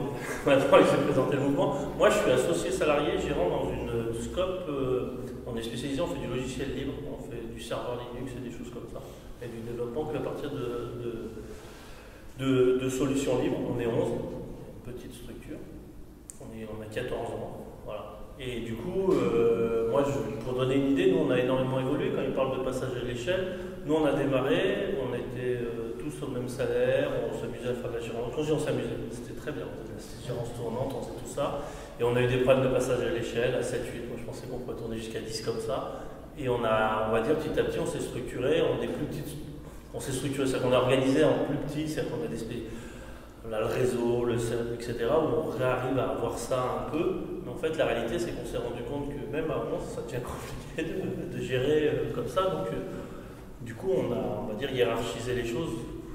Je pense hiérarchiser, euh, pas du tout comme ça pourrait être dans l'industrie, mais en tout cas, on s'est rendu compte que c'est juste pour parler de l'évolution, c'est que les scopes, elles évoluent, elles évoluent en fonction des personnes qu'il y a dedans, en fonction de ça, mais en gardant l'idée qui est importante et qui a été dit, c'est-à-dire qu'il y ait de la démocratie dans les entreprises. Et ça, moi, ce qu'il a dit là, vraiment, et à un moment, il appelle le graphiste, ou disons, voilà, ce qu'il a expliqué est quelque chose que vous allez retrouver, quelles que soient les personnes que vous allez rencontrer en scope. C'est vraiment quelque chose qui est très important, et c'est un mouvement, moi, c'est pour ça que j'aime bien faire partie de ce mouvement et croiser les gens, c'est que la démocratie, c'est vraiment quelque chose d'important. Je peux vous dire, même au CALUR, etc., c'est-à-dire qu'on peut gueuler, etc. Mais c'est vraiment, je ne l'ai pas vu, je l'ai vu ailleurs, mais c'est vraiment un moment quand on dit, voilà, il y a quelqu'un qui parle, il y a une notion de dire, euh, il n'est pas d'accord et tout, mais on va pas juste le balayer d'une main parce qu'on a le pouvoir ou parce que machin.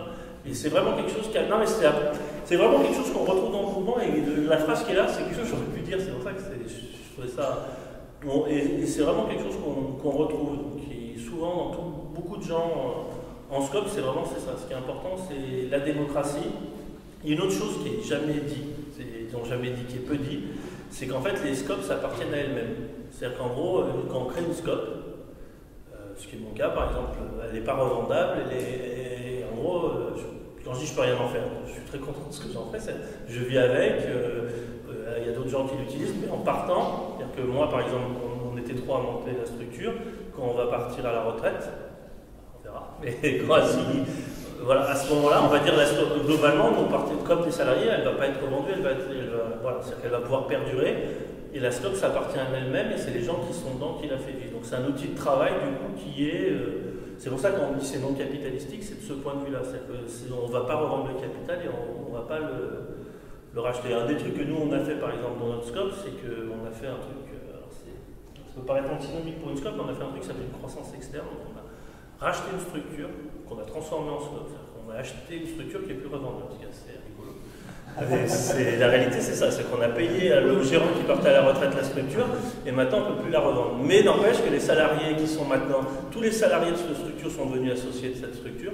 On a créé un groupement coopératif entre notre structure et, et la leur, mais du coup, c'est du- L'intérêt, c'est quand même à long terme.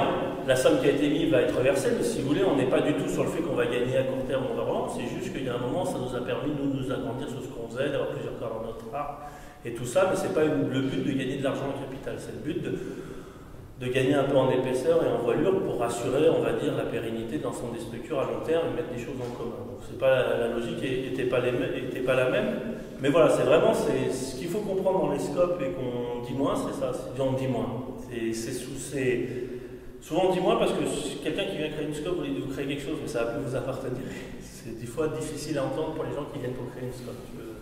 Ce que je comprends, et du coup, c'est pas quelque chose qui est toujours mis en avant. Mais voilà, c'est quelque chose qui est très important, et je pense qui est dans les fondements, et qui fait aussi que du coup, ça, la démocratie y est, parce qu'en fait, il n'y a pas de problème euh, entre les associés de savoir combien je vais revendre les parts ou pas, parce que la limite, on perd de l'argent. Pour faire simple, euh, moi, on va dire que j'ai 5000 euros dans la structure, dans Prop6, que j'ai il y a 14 ans, et ce qui fait que quand je vais partir, j'en sais rien, on va dire 30 ans, j'ai récupéré 5000 euros dans la route. J'ai même perdu de l'argent en fin de compte. C'est-à-dire que j'ai- en termes, d'inflation, j'ai- perdu de l'argent. Mais voilà, après j'ai gagné de l'argent en tant que salarié. Mais c'est voilà, c'est les deux points qui sont importants, c'est que c'est non capitalistique. Donc quand il parlait de non capitalistique, c'est vrai. il y a du capital, mais on ne fait pas de bénéfice avec le capital, on fait du bénéfice avec la force de travail. C'est aussi pour ça qu'on fait du libre. Nous, en logiciel libre, c'est que le principe, c'est que c'est pas parce qu'on est propriétaire de brevets qu'on gagne de l'argent, mais c'est parce qu'on est capable de développer et d'améliorer les Nous, c'est pour ça qu'on s'est créé en scope, c'est qu'il y a une convergence en, termes de logique, de dire que ce qui compte, c'est ce qu'on est capable de fabriquer parce qu'on est capable de détenir. Globalement, euh, la logique, elle est, là. Et après, voilà, sur l'autre chose importante et qui est dit tout le temps, c'est la démocratie. C'est vraiment quelque chose qu'on retrouve tout le temps dans le, mouvement euh, et à tous les niveaux du mouvement. C'est-à-dire on n'est pas toujours d'accord, etc. Ce qui est normal hein, dans le mouvement. Mais on retrouve un moment comme un point démocratique qui est important, c'est c'est rarement excusé. C'est-à-dire que quand il y a des choses qui sont mises en avant, tout le monde à un moment dit ok, là il va falloir discuter et c'est jamais balayé. C'est quelque chose qui est très important dans, dans le mouvement. Voilà. Ça, je- du coup, je sais pas, j'ai résumé un peu les différentes choses pour un peu épaissir ce qui était là. Après, limite, le mieux, c'est peut-être on peut discuter si ça vous va. Sur, sur ce- comme ça, je vous laisse, si vous avez des points d'éclairage, etc., c'est peut-être le mieux, non? Si- si- si- Bah, moi j'ai une première question pour commencer. euh, Sur euh, la gouvernance, justement, on entend beaucoup le- une personne, une voix. euh, toujours dans- Est-ce que c'est toujours la, la réalité pour toute décision ou comment ça se décide Alors. Quelles décisions sont mises au vote ou pas euh, co- Comment ça Déjà, ce qui est important, c'est que dans toute la, en moyenne dans les scopes, il y a 80% des salariés qui sont associés. Donc c'est pas, on va dire, c'est pas une vue de l'esprit quand on dit c'est, il y a quelques scopes qui ont des dysfonctionnements, genre c'est deux personnes, il y a 60 salariés, et elles refusent que d'autres gens rentrent. Mais dans la réalité, la moyenne en France, c'est 80% des salariés sont associés dans les scopes. Donc déjà, le- il y a vraiment un homme et une voix, ça c'est vrai. Et après, il y a plein de types de fonctionnement, parce qu'on va dire, euh, il y a des scopes qui vont réunir leur AG une fois par an, et puis derrière, ils vont avoir un comité directeur qui va fonctionner de façon euh, plus ou moins opaque. Ça peut. Enfin, pas interdit par le statut, hein, mais voilà. Il y a, et après, on va dire, on a surtout tout l'éventail de ce qu'il y a autour, c'est-à-dire que euh, il y a différents niveaux de décision. Par exemple, acheter une structure ou acheter des locaux, ça, ça sera toujours passé en AGK. Il n'y a aucune scope, va dire, je ne dis pas que ça c'est déjà arrivé, mais ça, par exemple, ça, c'est des choix stratégiques. Tous les choix stratégiques, et ça, on va le retrouver à peu près partout, sont votés en AG. C'est-à-dire qu'en AG, et il y a une autre chose qui est importante et qui est souvent prise en compte et que je vois à peu près partout, c'est aussi ce qui montrait, c'est-à-dire qu'il faut éduquer tout le monde à prendre ses décisions. C'est-à-dire que quelqu'un dans son métier, j'en sais rien, qui va faire du dessin ou qui va faire ça, quand on dit il faut acheter des locaux, il faut lui expliquer pourquoi, comment, comment ça va coûter, combien on va les payer, quel est l'intérêt, etc. Et ça, c'est un temps qui, est pris. Et je le vois qui est pris, alors souvent qui est pris euh, entre midi et deux, le jour, c'est qu'il y a des temps qui sont pris euh, dans plein de scopes à un moment pour discuter de ça. C'est pris en dehors avec les associés et c'est échangé là-dessus. Le un homme, une voix est vrai.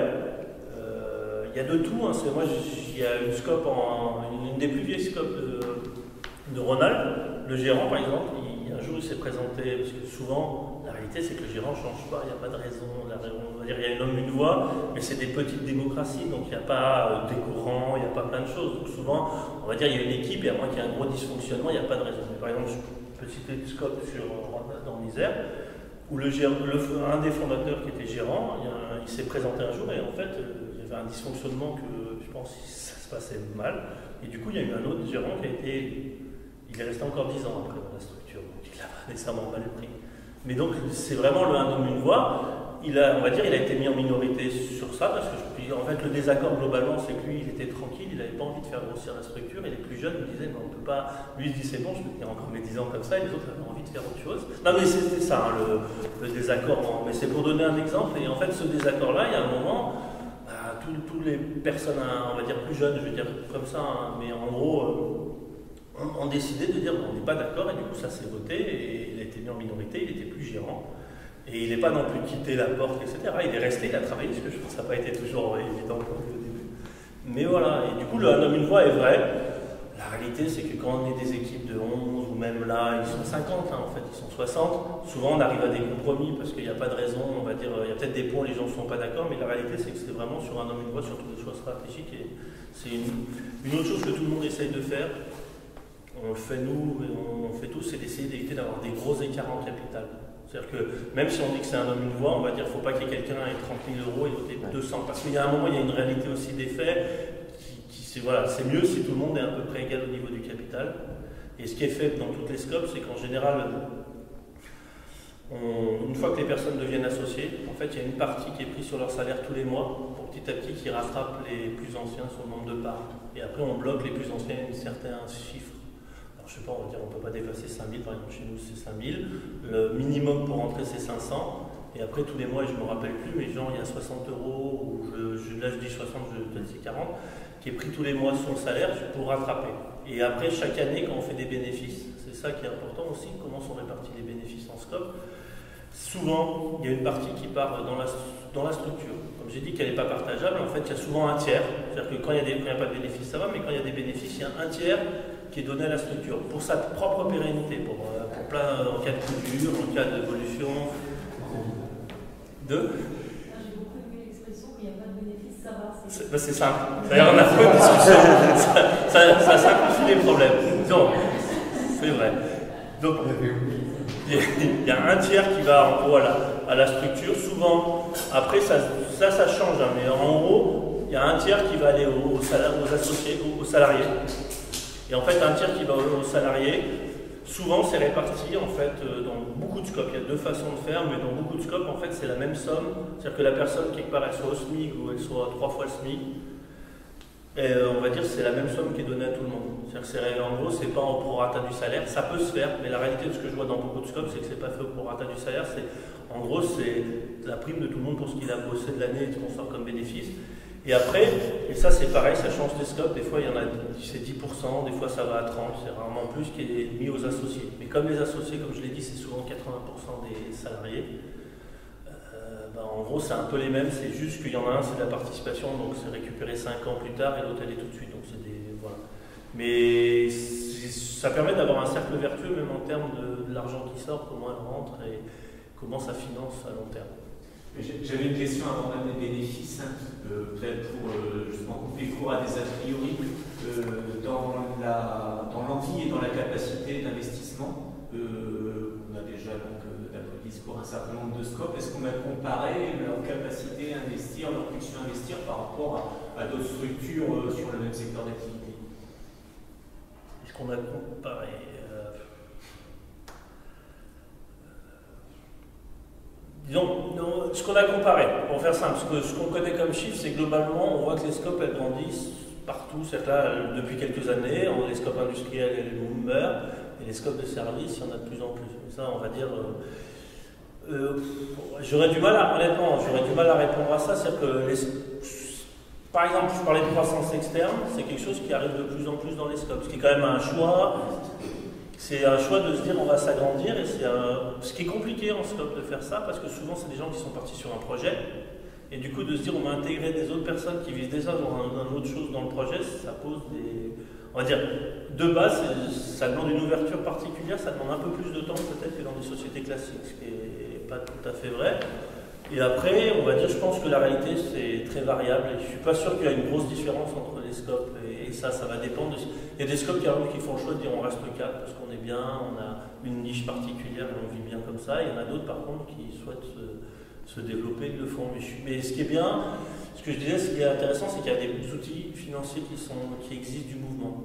Et ça, c'est quand même un plus parce que ça permet, par exemple, toute scope qui se crée, on n'est jamais caution personnelle. C'est-à-dire qu'en gros, c'est le mouvement qui se porte caution personnelle. C'est-à-dire quand je parle de comité d'engagement, etc., c'est-à-dire qu'il y a des gens qui valident le dossier, etc. Tout. Donc on se dit, bah voilà, du coup, une fois que le dossier est validé par l'Union régionale des scopes, que ce soit la partie bénévole la partie des élus, et puis la partie, on va dire, technique, Derrière, c'est, on va dire, tout, le risque, il est jamais personne. Nous, par exemple, on a créé la structure, on n'a jamais été caution personnelle. Alors que si vous créez votre structure, vous allez voir la banque, vous serez caution personnelle. Je ne réponds pas tout à fait, mais c'est pour dire que je n'ai pas de réponse sur ça. Je pense que globalement, ça va être kiff-kiff que les autres euh, structures. Par exemple, pour dire les, cho- les choses dans les analyses, dans les stats qui ont été faites, il y a plus, par exemple, de femmes gérantes en scope que dans le reste des entreprises.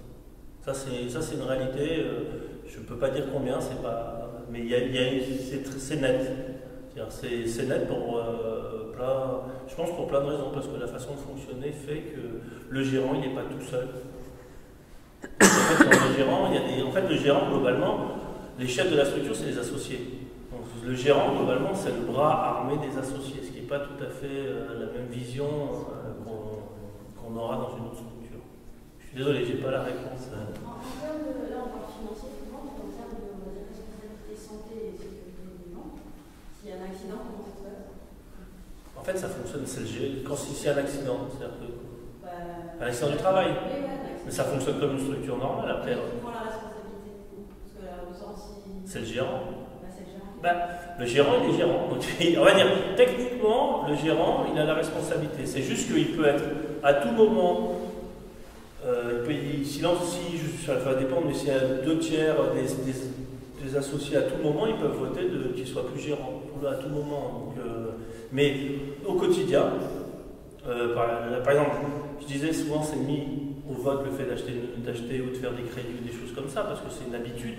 Mais légalement, la personne qui le signe et qui le fait, c'est le gérant. C'est, ça change rien. C'est-à-dire qu'une SCOP, elle peut être en SAS, elle peut être en SARL ou elle peut être en SA. Donc elle a, et en fait le statut SCOP qui part, c'est un chapeau au-dessus, mais ça enlève rien sur toute cette partie euh, droit du travail.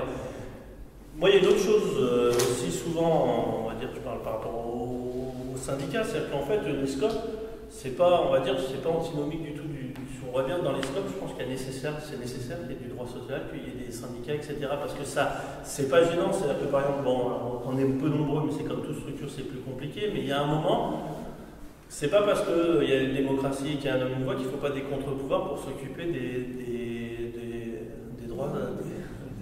Non, mais des droits sociaux. Parce qu'en fait, des fois, ça peut. On va dire, il y a un côté schizophrène de se dire on fait tout ça en même temps. Mais on peut être associé, du coup, on peut avoir une vision et on oublie la vision des salariés. C'est important qu'il y ait ces pouvoirs et ces contre-pouvoirs.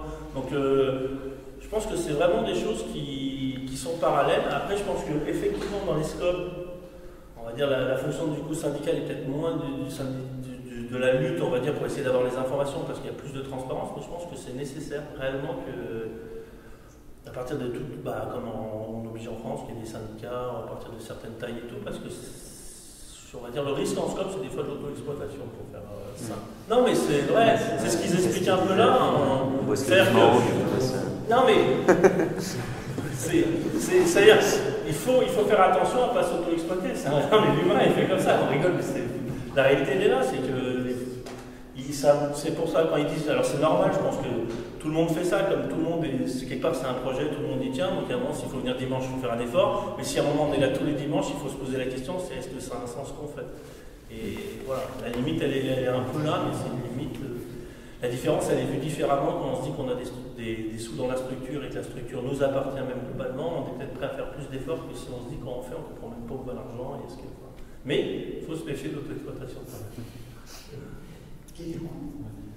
Euh, Quand vous dites qu'il y a en moyenne 80% d'associés, ça veut dire qu'il y a 20% de personnes qui ne sont pas associées. Comment c'est possible? Alors comment c'est possible? Par exemple, dans notre cas, nous, souvent ce qu'on demande, d'abord il peut y avoir- on, on- on associe les gens au bout d'un an. Parce qu'en en fait, quand quelqu'un est, em- est embauché, il n'est pas associé au début. Parce qu'on estime qu'il faut un an pour comprendre comment ça fonctionne. C'est-à-dire, nous, par exemple, dans nos statuts, on demande à ce qu'il vienne AG en tant qu'observateur, qu'il participe à une en tant qu'observateur et qu'il ait un an dans la structure et pour pouvoir postuler en tant qu'associé. Voilà. Hein Une période d'essai, c'est ça D'acclimatation pour comprendre comment ça se passe et ça fonctionne et après intégrer. Après, il y a des structures où il y en a qui ne veulent pas devenir euh, associés, hein, ça arrive, il y a des gens, on va dire, qui. Souvent, beaucoup de scopes sont plutôt. Il y en a qui l'obligent. Il y a des scopes où c'est marqué, où c'est obligatoire dans le statut. C'est-à-dire qu'au bout d'un an, on devient associé, c'est obligatoire pour Il y en a d'autres qui laissent le choix. Mais en fait, il y a des gens qui ne souhaitent pas devenir associés, ça arrive aussi. Et puis il y a quelques. Pourquoi ils ne veulent pas? Oui. Je ne peux pas leur, il faudrait leur demander. Les gardiens, déjà, Hein?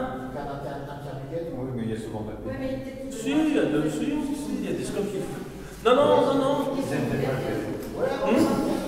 pas une question de liberté de pas s'engager devant. Oui, il y en a. Après, il y a des gens qui ne souhaitent pas s'engager. Par exemple, nous, on a eu quelqu'un dans notre scope, il a mis deux ans avant de s'engager. La première année, il a dit non. euh, alors, il était, il était jeune, hein, il était d'abord en alternance, après il est resté, donc quand même, il est resté un certain temps. Et il lui a fallu deux ans pour qu'il il est venu à plus de deux AG, et puis à un moment, voilà, il, avait, voilà, il, il a stagné, il est, devenu associé parce qu'il faut, il y a des gens, Pour eux, ils voyaient ça comme un mariage en disant si je suis associé, je pourrais plus partir. Si chacun voit les choses comme ils veulent, mais il gens disent si je m'associe à la structure, c'est-à-dire c'est à vie. Vous voyez ce que c'est? Oui, mais ça dépend des gens. Ce que je veux dire, c'est que tout ça, c'est, pas habituel. On va dire déjà, vous allez ailleurs. Mais un vrai problème en scope, c'est d'embaucher des commerciaux. C'est une catastrophe, personne n'y arrive. On a fait des réunions pour ça. Les commerciaux, ils fonctionnent à la com, ils ont une culture particulière. Vous mettez un commercial dans dans une scope, il a du mal à comprendre parce que quand on lui dit mais on ne peut pas te payer à la com parce qu'il y a déjà à la fin par rapport au boulot, tout le monde travaille ensemble, c'est très compliqué. Nous, on en a eu un, un moment en alternance, et il a dit mais j'arrête parce que par rapport à mes collègues, quand je raconte ce que vous faites, ils rigolent. Il a dit un peu plus que ça, mais globalement, c'était trop en décalage.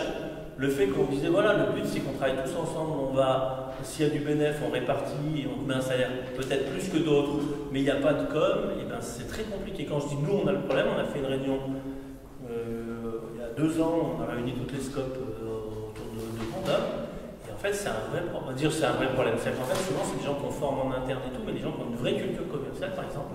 La scope c'est quelque chose qui est très en dehors de ils ne sont pas formés, pas formatés dessus, et c'est très loin de leur culture, et c'est très compliqué. Voilà. Et du coup, il y en a qui refusent, mais les 80, je pense que c'est un, mélange de certaines scopes qui dysfonctionnent, qui du coup n'acceptent pas des nouveaux associés, ça arrive. Il y en a quelques-unes, un mélange de gens qui ne veulent pas s'engager et un mélange du temps entre l'embauche et les, les gens qui arrivent. Voilà. Je peux pas. ouais. J'ai une question intéressée. En fait, euh, je me rappelle d'une phrase de Pierre Rabhi qui disait euh, Je ne peux pas donner des conseils universels à tout le monde parce que sinon le, le harcèle, euh, c'est dans une conférence à Valence. mais- Et, et un gars qui lui disait Qu'est-ce que vous me conseillez de faire dans ma vie? Et l'autre lui dit J'en sais rien, je ne connais pas ta vie, euh, c'est c'est ton chemin à toi. Mais il lui avait dit quand même une phrase il lui avait dit Je peux quand même te donner un conseil si tu travailles dans une multinationale, casse-toi en courant. Enfin, il avait dit avec ses mots, c'était mieux dit. hein. Mais en fait, il avait dit ça.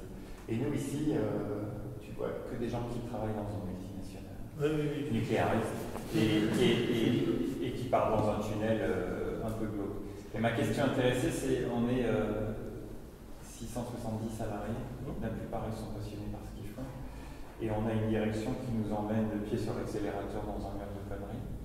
Et quel conseil tu donnerais à une structure aussi grosse pour euh, suivre les conseils de Alors, c'est un peu ambitieux d'aller jusque-là pour moi, mais en tout cas, moi, le, con- le conseil que je vous dirais, c'est d'aller. Là, par contre, il y a des, là, c'est sur des détails techniques comme ça. Ce qu'il faudrait, c'est rencontrer, euh, appeler l'UR, vous donner le nom à qui appeler, pour rencontrer, on va dire, euh, c'est My- Myriam Elmas hein, qui s'occupe, qui est au pôle création, qui est le plus pointu là-dessus, celle qui a suivi Copla, qui a fait plein de choses. Et en gros, qui est sur la logique de comment le faire, de comment, de comment l'organiser, ça demande, on va dire, là, un engineering un peu particulier. Donc euh, ça demande du boulot, on va dire. Et ça, on va dire, je pense que le mouvement il serait tout à fait prêt à mettre du temps et de l'énergie pour réfléchir à comment le faire, euh, peut-être des scopes de plusieurs centaines de salariés Ah oui, oui, la plus grosse scope, En alors France, à chaque fois je me plante, c'est une scope euh, qui est en Bretagne et qui fait. Ah oui, ils sont 1200. Donc, euh, On est moitié moins. C'est moitié plus facile. Ils sont, et je parle pas des filiales. Hein. Hein c'est ACOM. C'est la société qui la plus grosse scope de France, c'est ACOM. Mais par exemple en Italie, il y a, Mondragon, qui est une énorme scope. Et alors là, ils sont bien plus que. Je ne peux pas dire le nom, mais ils sont bien, bien plus nombreux. C'est eux qui avaient. alors, ça va du coup, mais c'est par exemple Fagor en France dont on a parlé. C'est Mondragon qui, quand ça a coulé, etc. On a rien on en a parlé. Ça appartenait à Mondragon, qui est en gros qui est un groupement coopératif.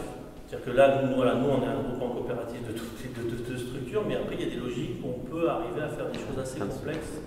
Mais voilà, il y a des scopes de 1200. Il y en a une autre, alors qui est sur un truc particulier, qui est chez Déjeuner, qui est une scope. Je dis que c'est sur un truc particulier parce qu'elle n'est pas sur un marché, euh, on va dire, purement concurrentiel, au sens où ils sont trois. Donc c'est un peu particulier. Mais la plus grosse, c'est Acom qui bosse euh, dans. euh, je vais dire une connerie, donc je vais rien dire. Mais les câbles, je sais plus de quoi. Donc c'est de l'industrie pure, ils sont 1200 et ils sont très pointus, ils travaillent à l'international. Donc euh, 600, euh, il y en a. Il y en a, y en a un certain nombre. en, Isère, en Isère, une des plus grosses, ils sont 80, c'est l'Allemagne par exemple. Et après, euh, moi 600, on va dire 600, il y en a, je il y en a, c'est pas la majorité.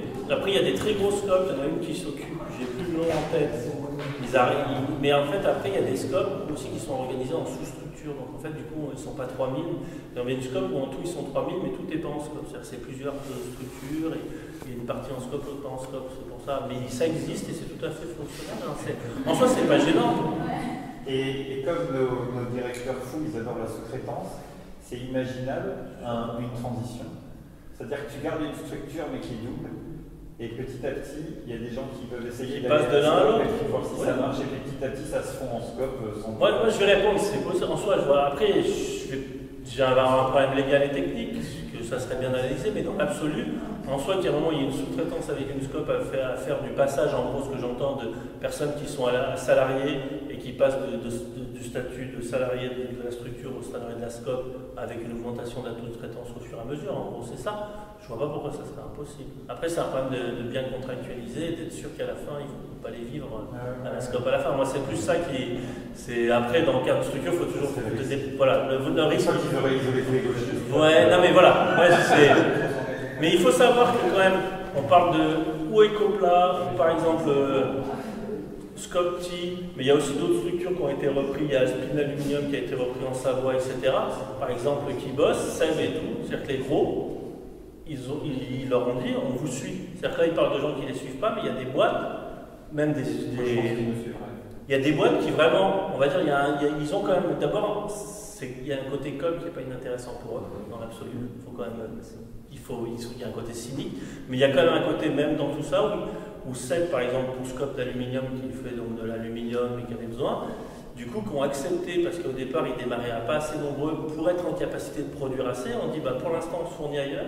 Et au fur et à mesure vous aurez formé les personnes, on, vous commande. Donc il y a, y a quand même, voilà, c'est-à-dire qu'il y a moyen de négocier avec tous ces gens-là, en fait, euh, de, en, quand je dis en bonne intelligence, en bonne intelligence quand même, parce que je pense qu'il y a un parti com et il y a un parti où aussi ils sont contents d'avoir des structures parce que quelque part, les structures en scope, il y a quand même, du coup, il y a des gens qui aiment bien leur métier souvent dedans. C'est-à-dire que souvent, on voit aussi, je parle des gens qui, qui sont en scope, ils, montent parce qu'ils font des scopes pas pour gagner de l'argent, c'est souvent parce que c'est des gens qui ont un certain amour de leur métier, qui ont un côté artisan, quel que soit le métier qu'on fait. hein.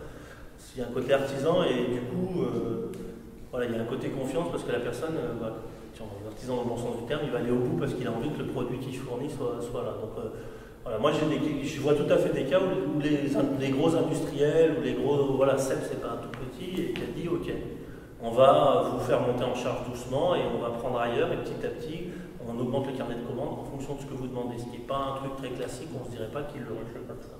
Donc je pense que ça doit être envisageable. Le vrai truc, c'est qu'il faut avancer au départ, je pense qu'il faut rencontrer à côté, puis euh, bah, après, une fois que le truc, euh, ça se travaille. Ça prendra du temps, je pense, c'est le vrai truc. Mais si ça, ça peut être envisageable, je pense que c'est mieux que de, de le faire en un bloc, parce que ça me semble un peu... Parce que nous, dans notre cauchemar, on a une qualité, c'est que EDF nous donne le droit de- d'essayer des trucs pendant 5 ans.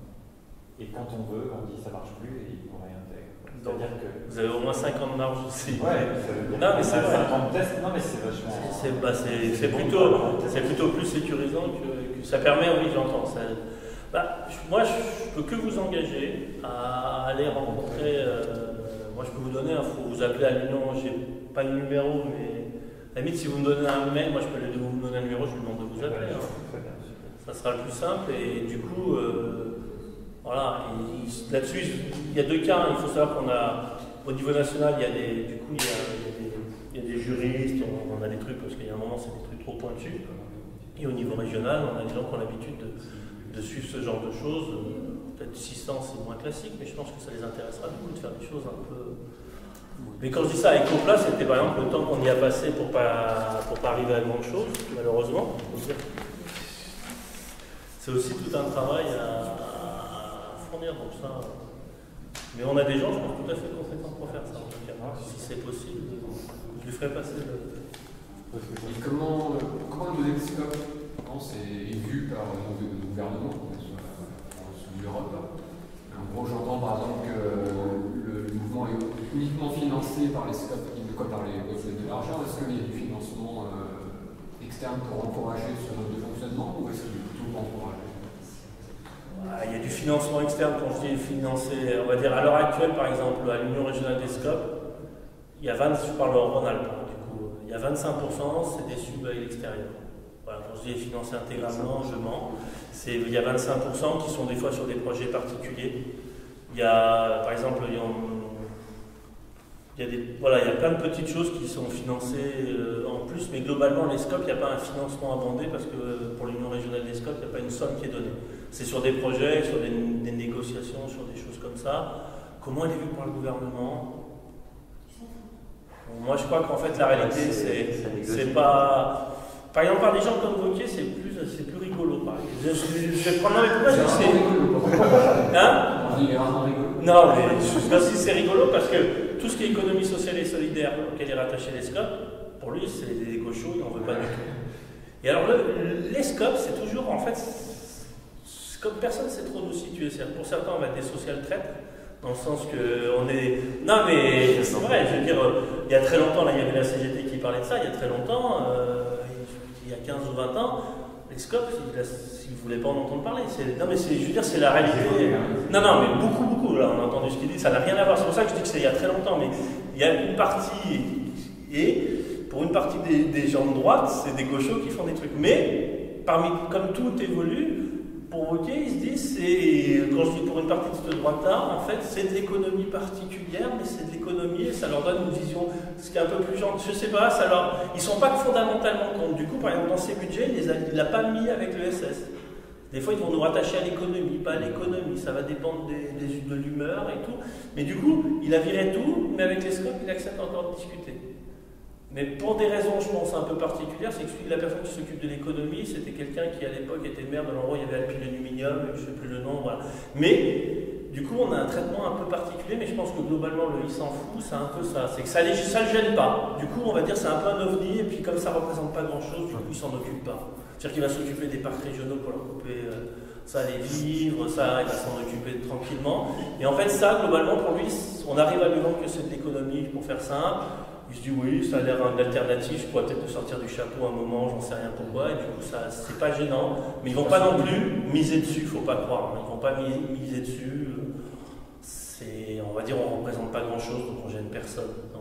Non, mais je veux dire, c'est, à peu près ça. Moi je pense que fondamentalement, on va dire si on devenait important, on gênerait- ça serait très compliqué parce que ça remet en cause toute la partie capitalistique de tout ça, donc on gênerait plus.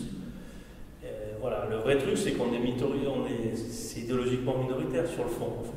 faut le, voilà, faut le reconnaître, il faut se battre, il faut reconnaître qu'à l'heure actuelle, les gens qui créent leur boîte, si on leur dit vous créez votre boîte, mais elle ne va pas vous appartenir, il y en a une partie. euh, à l'époque des startups, si vous voulez, ça ne les fait pas rêver, parce qu'ils se disent pas qu'à à 40 ans, ils seront, ils seront à Los Angeles dans une piscine, du coup, parce qu'ils auront vendu leur boîte et donc, euh, Non, mais pour faire simple, c'est du coup, par rapport à ce qu'on vend, mais il y a quand même plein de gens intéresse.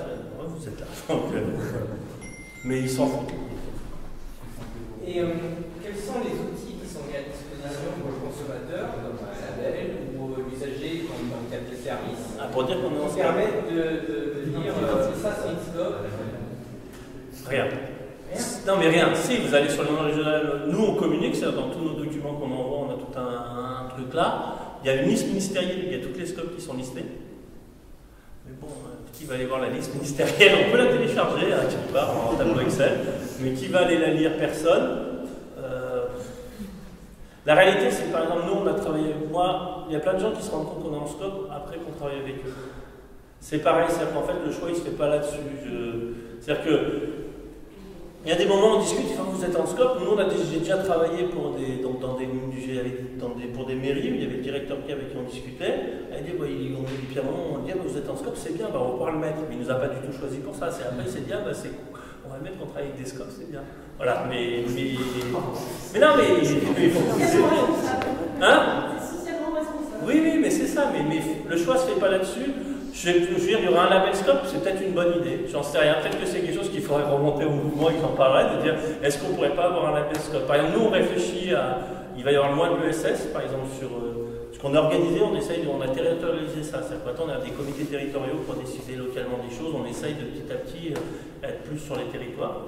Et donc sur le territoire de, de il y a le mois de l'ESS qui est le mois prochain, je crois, c'est en novembre. Et donc euh, ce qu'on veut faire, c'est par exemple s'amuser à faire un parcours, fait en faisant un peu des portes ouvertes des scopes et dire en vélo, on, va et puis on donne un truc, euh, on va donner un peu comme, euh, voilà, on va, comme ça les gens qui ont fait 20 scopes, on leur offre je sais pas quoi, pour faire découvrir les scopes et montrer que les scopes qu'il y a sur le territoire. Mais on n'a pas un label, on va dire scope. Mais on pourrait. C'est-à-dire qu'on le met partout, mais on n'a pas. Vous devez avoir quand même des super stats au niveau de, des gens qui sont bien dans leur boulot, les arrêts de travail, je sais pas trop quoi. Oui, sûrement. Ouais, faudrait, j'ai jamais, les arrêts de travail, je sais pas, ça serait intéressant. Je, les arrêts de travail, je, je, je crois que je demande, ils doivent Ce exister. qu'on voit à travers la scope, c'est que les gens ils sont motivés à bosser euh, c'est vrai. dans le, comment dire, ensemble, pour eux, pour chacun, pour tous, enfin voilà. quoi. Donc, euh, vous devez avoir assez peu de dossiers de prud'homme. Ah, Il y en a, hein. il y en a, faut pas croire. Ah oui, oui, il y en a. Ah c'est la vie des humains. Des fois, même dans un groupe, on va s'engueuler. Il y en a qui est tellement mauvais, il va partir au prud'homme. Ça peut arriver. D'accord.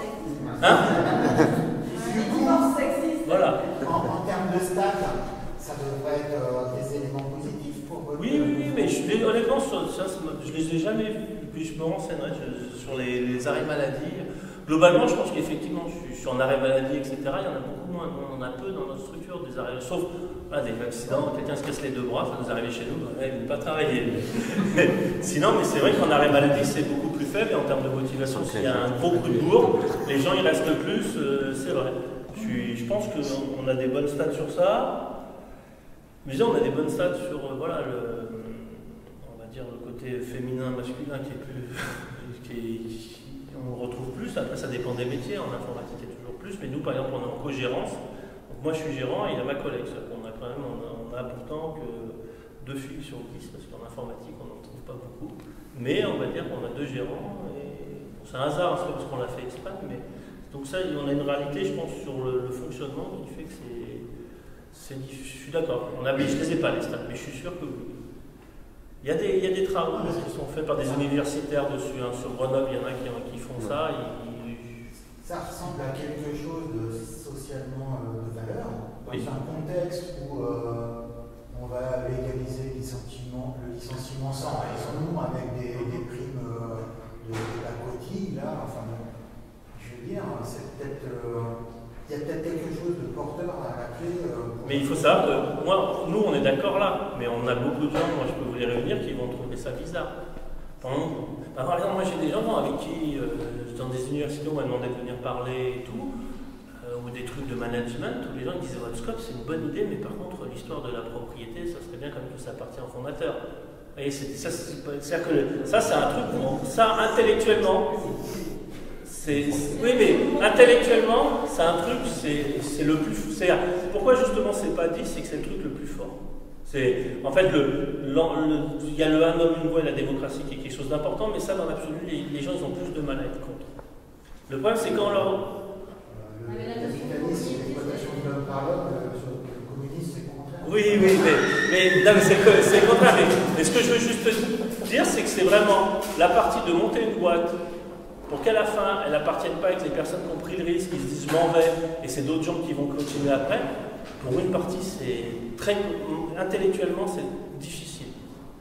En tout cas, une des raisons pour moi qui explique le fait que ça, ça prend du temps et que c'est un travail de long terme, c'est que ça, c'est un point. D'abord, il y a des gens qui croient qu'on. Mais ça arrive de moins en moins. Il y a dix années, il y avait des gens, mais comment vous faites pour décider tous ensemble? Dès que vous achetez un stylo, réunissez. Je l'ai eu, hein, des gens qui me racontaient ça. Dis non, mais attendez, dans la vraie vie, on va dire, on discute deux minutes, on est capable de prendre des décisions à chaque fois, on ne se fait pas deux heures de débat pour savoir euh, tout, comment on fait. Donc, ça, c'est des choses qui ont un peu disparu parce que je pense qu'il y a eu quand même, après la crise et tout ça, ça a détendu certaines personnes. euh, justement euh, sur les problématiques. Les scopes ont mieux résisté. Souvent, les scopes ont mieux résisté, mais au bout d'un moment moins, c'est parce qu'elles avaient plus d'argent de côté, parce qu'il y avait une partie qui était mise, quand je parlais de la part qui est mise dans les structures. En fait, les structures dans le scope, on va dire, je prends plein de. de- de- si on prend les. Toutes les grosses boîtes euh, qui existent, Leclerc, etc., souvent, les, elles ont peu de cash, en fait, les structures, parce qu'elles sont pompées par autre chose, comme ça, si ça coule. Les scopes, en fait, souvent, elles ont un bon fonds de roulement. C'est-à-dire que les scopes ont plusieurs années, au bout d'un moment, elles ont un bon fonds de roulement parce que il y a de l'argent qui est bloqué de chaque, tout le temps dans la structure. Ce qui garantit en cas de coup dur, même de un an ou deux, elles tiennent plus longtemps. Après, quand ça dure 5 ans, il y a un moment, ça reste compliqué. Mais tout ça, moi je suis d'accord que ça soit vertueux. Mais la réalité que je vois, c'est que quand on sort du landerneau de, de nous, on va dire certaines personnes qui ont une certaine vision du monde, franchement, le fait de, de la propriété, c'est là, c'est dur. C'est curieux parce que personne ne se pose la question, euh, parce que le monde du salariat, il- je ne sais pas combien de pourcentage ça représente, mais personne ne se pose la question. Dans ce monde-là, euh, je bosse, mais ça ne m'intéresse. Il n'y a m'appartient. Euh, Il n'y a rien qui m'appartient, mais il y en a qui ont peur que ça leur appartienne. Évidemment, il y a une partie des gens, ils ont peur que ça leur appartienne parce qu'ils disent du coup j'ai une responsabilité, si ça appartient, je, je stresse. Moi perso, je préfère qu'on ça nous appartienne à tous, ça me stresse moins. Donc, euh, je dis que tout le monde stresse, ça dépend des gens. Moi, je le vois comme ça. C'est que la question de la propriété, elle ne se pose pas dans le monde du. Mais elle se pose pour les gens qui créent les structures. Par exemple, souvent les, les gens qui vont créer des structures, c'est eux qui vont, c'est-à-dire c'est au moment de la création, c'est eux qui se posent la question de comment moi je vais la créer ça, c'est-à-dire que je crée quelque chose et après je vais devoir partager avec les nouveaux qui arrivent. Et parce que c'est ça en fait la réalité. Et ça, ta maison, puis en fait, il dit pas, c'est quelque chose qui ouais, c'est un peu, je dirais pas, c'est un peu une vision dure du problème, mais c'est comme ça que c'est vu par les gens.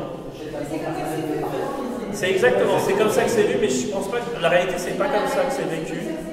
Mais c'est vu comme ça. C'est-à-dire que moi, je me, en fait, j'ai acheté, c'est ça, un car, je le fais conduire par des gens, et à la fin, en plus, ils gardent le car quand moi je descends. Il y a un côté comme ça. qui est- et honnêtement, dans notre monde, euh, si on regarde euh, M6 Capital, où à chaque fois on montre comment quelqu'un a fait fortune, c'est non mais quand on voit le monde, à chaque fois on explique comment lui il a fait fortune. Le problème c'est que là on peut pas faire fortune avec, euh, fortune avec une scope. Si, ben, on peut faire fortune si on, vend en boulot, mais je veux dire on peut pas gagner des millions. Il n'y a aucune raison qu'on gagne des millions en revendant le triple. Un truc qu'on ne sait pas pourquoi il vaut le triple, c'est-à-dire que tout, par exemple, tout le monde des startups, ça n'existe, ça peut pas exister dans ce milieu-là.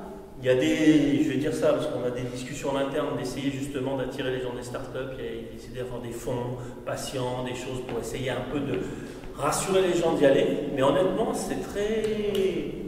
Par exemple, on parle beaucoup, mais parce que les startups, vous voyez notre président actuel qui est quand même, le- voilà, c'est startup man. Non, mais c'est vrai, je veux dire, s'il fait son fonds d'inondation, on va dire c'est tout ça. C'est compliqué. Le- le- les startups, globalement, on a essayé, nous, on a essayé d'expliquer aux élus plein de choses. C'est qu'une scope, quand elle se crée, elle ne va pas de raison de se délocaliser. Parce qu'on va dire des salariés qui sont à un endroit, ils vont pas dire, ah bah tiens, on va aller en Chine. Sauf s'ils ont envie d'aller visiter en Chine. Mais vous comprenez bien que vous n'allez pas à un moment. Non, mais c'est vrai. Non, mais c'est une réalité. Je veux dire, euh, je parle d'une scope qui est sur le Vercors, qui fait des pieuvres euh, pour les bâtiments. Alors, en fait, en gros, c'est des trucs électriques. Et voilà, en gros, dans le béton, et ça sort tous les trucs électriques. ils font ça. Euh, eux, ils sont, je sais plus combien, je vais pas dire de bêtises, donc je dirai rien. Ils sont un certain nombre. Et en fait, ils ne ils ils vont pas délocaliser. Par contre, il y a un moment, ils avaient un problème de production. Donc là, ils ont au Maroc, ils ont monté une entreprise, mais par contre, ils ont fait attention que les salaires des gens soient supérieurs. C'est vrai qu'ils ont essayé de faire ça bien. Parce qu'à un moment, ils avaient quand même un principe de réalité qu'ils n'arrivaient pas à tenir les prix pour certains trucs. Donc ils ont monté une, structure, une filiale là-bas, avec des, ils essaient de fonctionner comme une scope là-bas, etc. Mais ils n'ont pas dit, tiens, on se vire tous et on va tous aller bosser là-bas. Donc et du coup, on essaie d'expliquer aux élus, parce que le nombre de sous et de subventions qui sont mis aux startups qui est complètement délirant pour une partie de l'État, où en général, à la fin, il y a deux types qui font un- une plus-value ça arrive, et puis sinon, à la fin, il reste rien. hein, je veux dire. euh, mais ça, ça passe pas. On va dire, on en parle, les élus, on leur parle 10 minutes, et ils ont oublié 10 minutes après, parce que c'est quand même beaucoup plus classe d'aller voir une boîte qui, qui va dire, attention, on va avoir 30 millions de chiffres d'affaires demain. Alors qu'une scope qui dit, voilà, on en est là, et on va augmenter, mais dans 30 ans, on sera encore là. C'est beaucoup. En fait, c'est un problème du monde qu'on vit. Mais la réalité, c'est que c'est dur à vendre. Je veux dire, je ne vais pas raconter d'histoire. On voit bien le nombre qu'on est, on augmente, mais on va dire, on est un pour mille. Et en fait, honnêtement, on va dehors, on va rencontrer des gens, il y en a plein. On va dire déjà, il y a toute une partie de leur question, c'est de survivre. Non, mais je veux dire, du coup, ils ne sont pas sur ce problème-là. Et après, il y en a une autre partie, c'est comment moi je vais être au-dessus des autres. On va dire, si je monte un truc, je vais pas m'amuser à donner aux autres, il ne faut pas déconner. Et voilà, à la limite, vous, êtes en plus dans quelque chose de, je trouve, assez intéressant par rapport à votre problématique, c'est de dire, euh, on, va, on, a un savoir-faire et à un moment, on veut, pouvoir à mieux maîtriser comment on fait. Et en plus, ils sont dans une logique sous-traitance. Après ça, ici, à un moment, on peut travailler avec d'autres, c'est mieux parce que ça permet de solidifier tout ça. C'est, voilà, une bonne, une bonne chose. Mais par exemple, quand je parlais de nous, on a racheté une structure qu'on a transformée en scope. On l'a racheté à la gérante, je suis pas sûr si on l'aurait dit, bon, c'est pas grave, on la prend, on la transforme en scope, elle n'était pas d'accord, c'est qu'elle est partie avec son chèque pour faire ça, parce qu'elle, elle, elle estimait que c'était normal, après c'était normal dans le truc là. Mais... Est-ce que, tu dis donc il y a le- des principes, euh, ouais, des choses comme ça. Est-ce qu'il y a des chartes éthiques par exemple, pour avoir des financements euh, de part Est-ce qu'il y a des chartes éthiques sur presque, je sais pas, des salaires, un écart salaire maximal, des Non. choses comme ça qui va garantir un. Il n'y a, pas de charte éthique, c'est pareil, il y a eu des analyses hein, sur les salaires, ils sont beaucoup plus réduits. J'ai pas les chiffres, mais je pourrais, on va dire, ils sont. En gros, ça n'a rien à voir. C'est-à-dire qu'en gros, vous prenez des sociétés stranges, les gérants sont en général beaucoup moins payés que dans toutes les vous allez trouver. C'est-à-dire qu'en général, les bas salaires sont un peu plus hauts et les hauts salaires sont, sont beaucoup plus bas. Parce que, on va dire, quand les salaires sont posés sur la table, parce que le gérant, le salaire du gérant, il est décidé par les associés. Donc, c'est-à-dire que tous les associés connaissent le salaire du gérant. Donc, du coup, c'est pas tout à fait la même discussion. Hein? Non, mais. Il le prend bien. Sinon, on a découvert le salaire de notre patron, ça ne l'est pas du tout. Ah. Ben, c'est pas qu'il le prend bien, c'est qu'il là, c'est voté par les associés. Parce qu'en fait, dans le, le gérant d'une SCOP, il est salarié. Donc il a le droit au chômage chez chaque. Donc le fait qu'il ait le droit au chômage, c'est parce qu'il y a un élément de subordination. C'est parce qu'on considère que le gérant, c'est pas que lui qui décide et qu'au-dessus il y a les associés. Subordonné aux associés. Voilà, il est subordonné aux associés, donc c'est vrai. Mais ça, c'est une réalité, et c'est ce qui permet d'éviter des écarts, parce que personne va dire, ah bah super, on va payer 10 fois plus que nous. Parce que sinon, après, je pense qu'il va falloir qu'il travaille 10 fois plus, je veux dire, ou je sais pas, mais. Du coup, la réalité, c'est qu'on voit dans toutes les scopes, hein, c'est tassé. C'est clairement euh, tassé, même dans les plus grosses. hein. Ça, ça joue aussi. Hmm c'est rendu à l'échelle humaine. Je ne dis pas qu'il n'y a pas des endroits où ça déconne, hein, comme on va dire, c'est comme tout, mais euh, dans, dans la moyenne, ça change le, le salaire des, des plus hauts et souvent les bas montent. Comment ça se passe, euh, euh, les relations entre une SCOP et une banque Ouais, bah après, on va dire c'est comme toujours. Par exemple, nous, à l'heure actuelle, la boîte va bien. Ça fait depuis qu'on se crée qu'on augmente notre chiffre d'affaires. On va avoir des banques. Ils nous en pas beaucoup.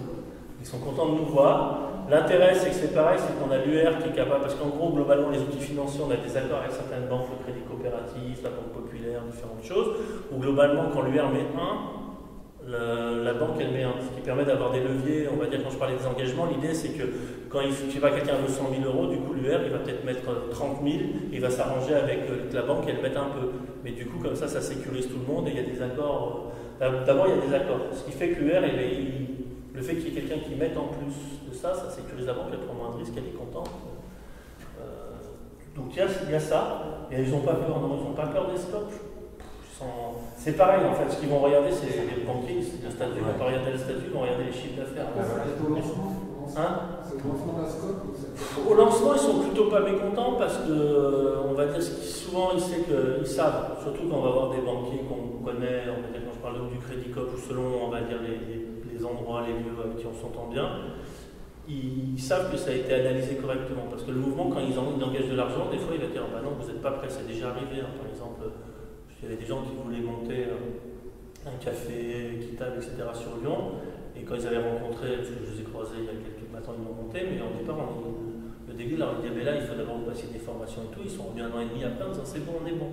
C'est-à-dire qu'en gros, on ne va pas financer tout et n'importe quoi. Donc, du coup, les banquiers, quand ils, arrivent en disant, bah voilà, le, mouvement est là, on va dire, on est quand même, il y a une certaine forme, on est quand même maintenant connu pour une certaine forme de sérieux là-dessus, donc ça aide plutôt que ça bloque. C'est pas, on va dire, c'est plutôt le fait que le mouvement donne son aval, c'est un plus pour euh, avoir du crédit. Bon, après, euh, ça va dépendre du projet. Le vrai truc, c'est après, ça va dépendre du projet, mais c'est plutôt un plus. Mais vous, de toute façon, c'est beaucoup du service. Hein. S'il n'y a pas de matos, il n'y a rien. Donc, Si, il y a du matériel, il y a du matos Si, vous avez du gros matos cher. c'est pour ça. Euh, Oui, oui, enfin, par rapport au nombre de salariés qu'on est, non, il n'y a pas. Non, mais par rapport à, par exemple, là, on reprend Scopti, non mais Scopti, Ouais, non, le matériel. oui, mais, mais par rapport à un outil industriel, ça vaut des millions, quoi. Par exemple, là,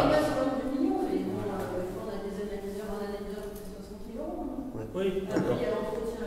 Non, non, mais du, bah, du coup, voilà, mais ça, c'est des choses. euh, ça, c'est des, ça, c'est des trucs techniques. On a des gens qui savent voir tout ça et comment valoriser, comment discuter ça. Mais au niveau des, de- des banques, c'est pas un problème. On va dire, c'est pas un problème si le projet il est bon et qu'il est bien vendu.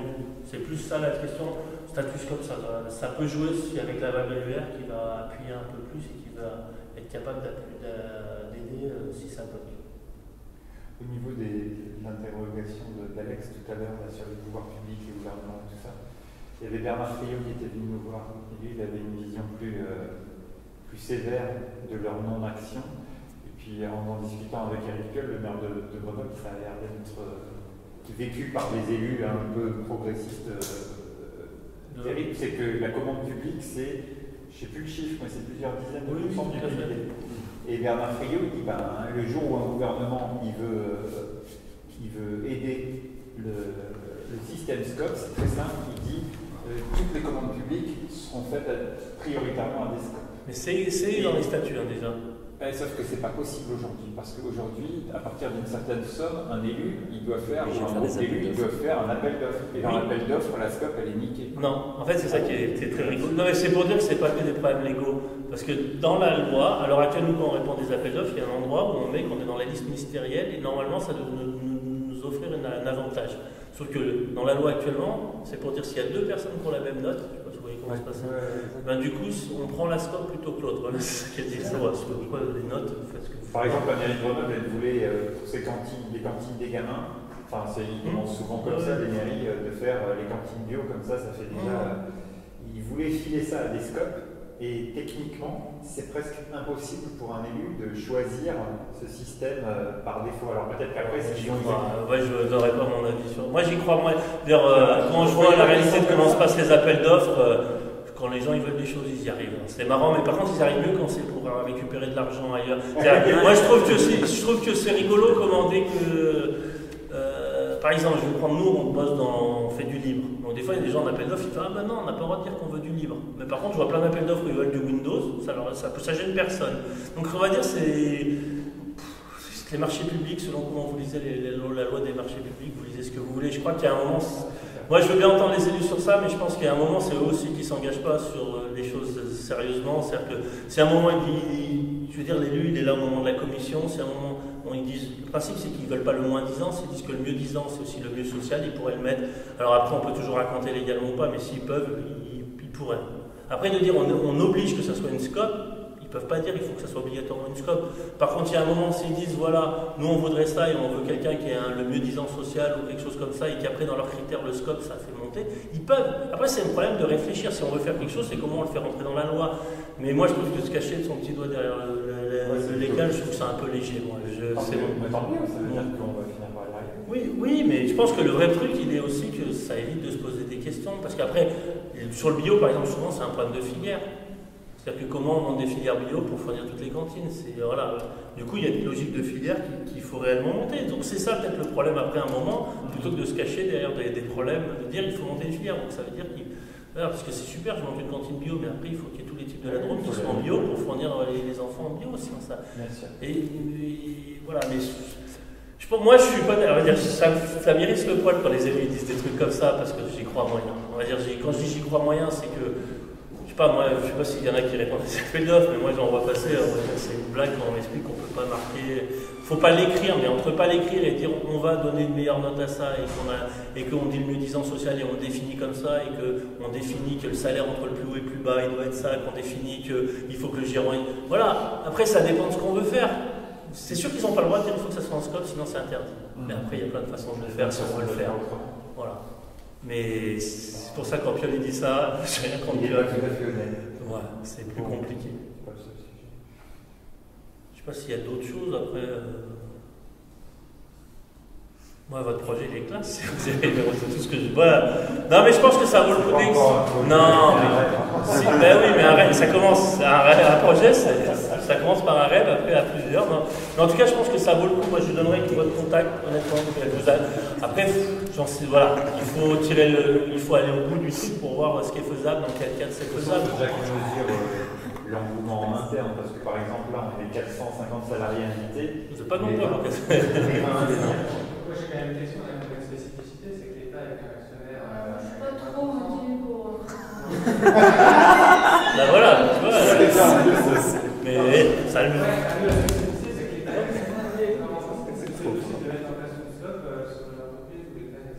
Mais il sera. Après, Oui, parce qu'il sera, il sera un sous-traitant. La scope euh, GTD. Après, il y a une autre structure. chacun choisit s'il va chez Il y a une autre structure que les SCOP qui fait partie du mouvement coopératif qui est les SIC. Et les SIC, ils pourraient. Peut pas être. Non, mais. Parce qu'après, oui, c'est. je comprends- Non, mais moi, je. L'intérêt collectif. C'est intérêt collectif où là, l'État peut avoir une, une partie prenante dans la. Et du coup, vous dépendez de l'État avec les avantages et les inconvénients.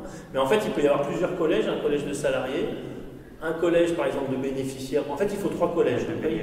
Et, et puis après, ça peut être le, un collège qui peut être les collèges de l'État ou les, les, partenaires publics. Ça existe. C'est juste pour dire, du coup, ça fait que les salariés gardent un certain pouvoir, mais qu'il y a tout le monde dedans. C'est aussi des choses. Mais c'est pour ça qu'il faut en discuter et prendre le temps. C'est ça ça se prend, voilà, là c'est, on va dire, c'est une discussion un peu pour point, mais après il faut arriver, échanger, et puis réfléchir sur comment on peut faire. Quoi. Non, mais c'est sûr que si Scope qui se crée, les gens qui iraient dans la Scope seraient plus salariés d'État. Seraient salariés de la Scope, associés. J'aime bien votre mot coopérateur plutôt que collaborateur, j'aime beaucoup Mais, oui, mais c'est comme ça. Non, mais souvent les gens ils se disent coopérateur. Hein, quand... C'est joli collaborateur. Nous, ils nous appellent collabo en ce moment.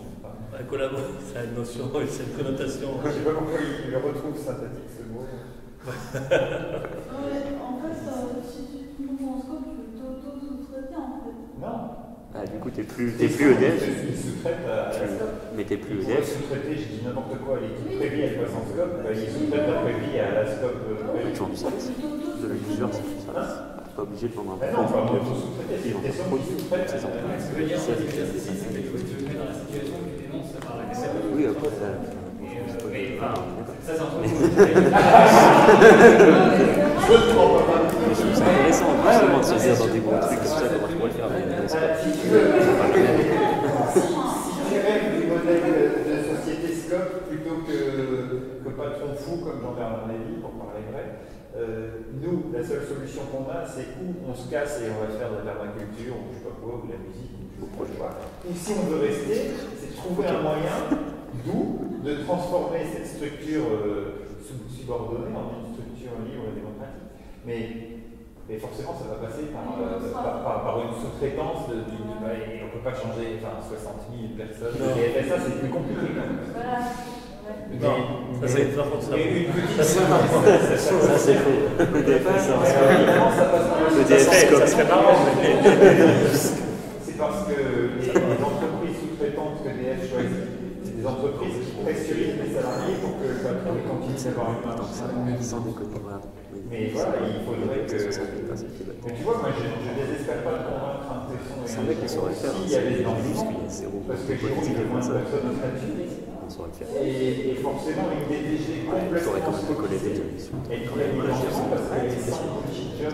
fait à Donc elle devient plus efficace et moins chère. Mais bon, c'est pas grave. De toute façon, Peu de chance qu'on la fasse, parce que non, mais même, en tout cas, ça vaut le coup, je pense. Voilà. Non, mais, je, par contre, je suis d'accord, ça pose plein de questions, mais, mais c'est là où on voit que c'est toute une question. Moi, j'en sais rien si c'est possible ou pas. Non, je pense que dans l'absolu, c'est possible. La vraie question, c'est faut, faut, le travailler, il faut poser tous ces trucs-là sur la table et, et puis à un moment, être conscient des choix qui sont faits, des avantages et inconvénients, et faire le choix aussi pour tout le monde la pérennité. Mais je pense qu'il faut tirer les fils de tout ça pour pouvoir avoir une discussion, on va dire. Là, c'était une présentation, après ça se travaille. Là, un, je pense que c'est un travail sur du long terme. Voilà, ça ne ça se fera pas. Euh, éventuellement, c'est vrai que ça peut se faire en test sur une dizaine, à un moment, ça peut être envisageable. Mais voilà, je dirais, le fait de faire comme ça, et puis y verrouiller un peu pour pas vous faire à la fin juste un licenciement. Oui, genre, c'est une forme de licenciement, on va dire. Vous êtes en scope, au bout d'un an, j'arrête, et puis il a réussi à virer les 100 personnes qui voulaient. J'exagère, mais. En plus, ça serait facilement les 100 qui voulaient. Oui, mais c'est pour ça. non, mais c'est même pour vous, il faut faire les choses intelligemment de tout ce point de vue, parce que, on va dire, il y a des gens très cyniques dans le monde. Donc... Oui, je comprends. c'est pour ça que notre retour possible, c'est une sacrée force qu'on a. Au moins pendant 5 ans, ça vous offre une marge de manœuvre. Si vous pouvez vous reviser. Ça se tente. Non, mais c'est vrai que ça, ça offre une marge de voilà. Mais, euh, tu peux aussi rester à la. Il est super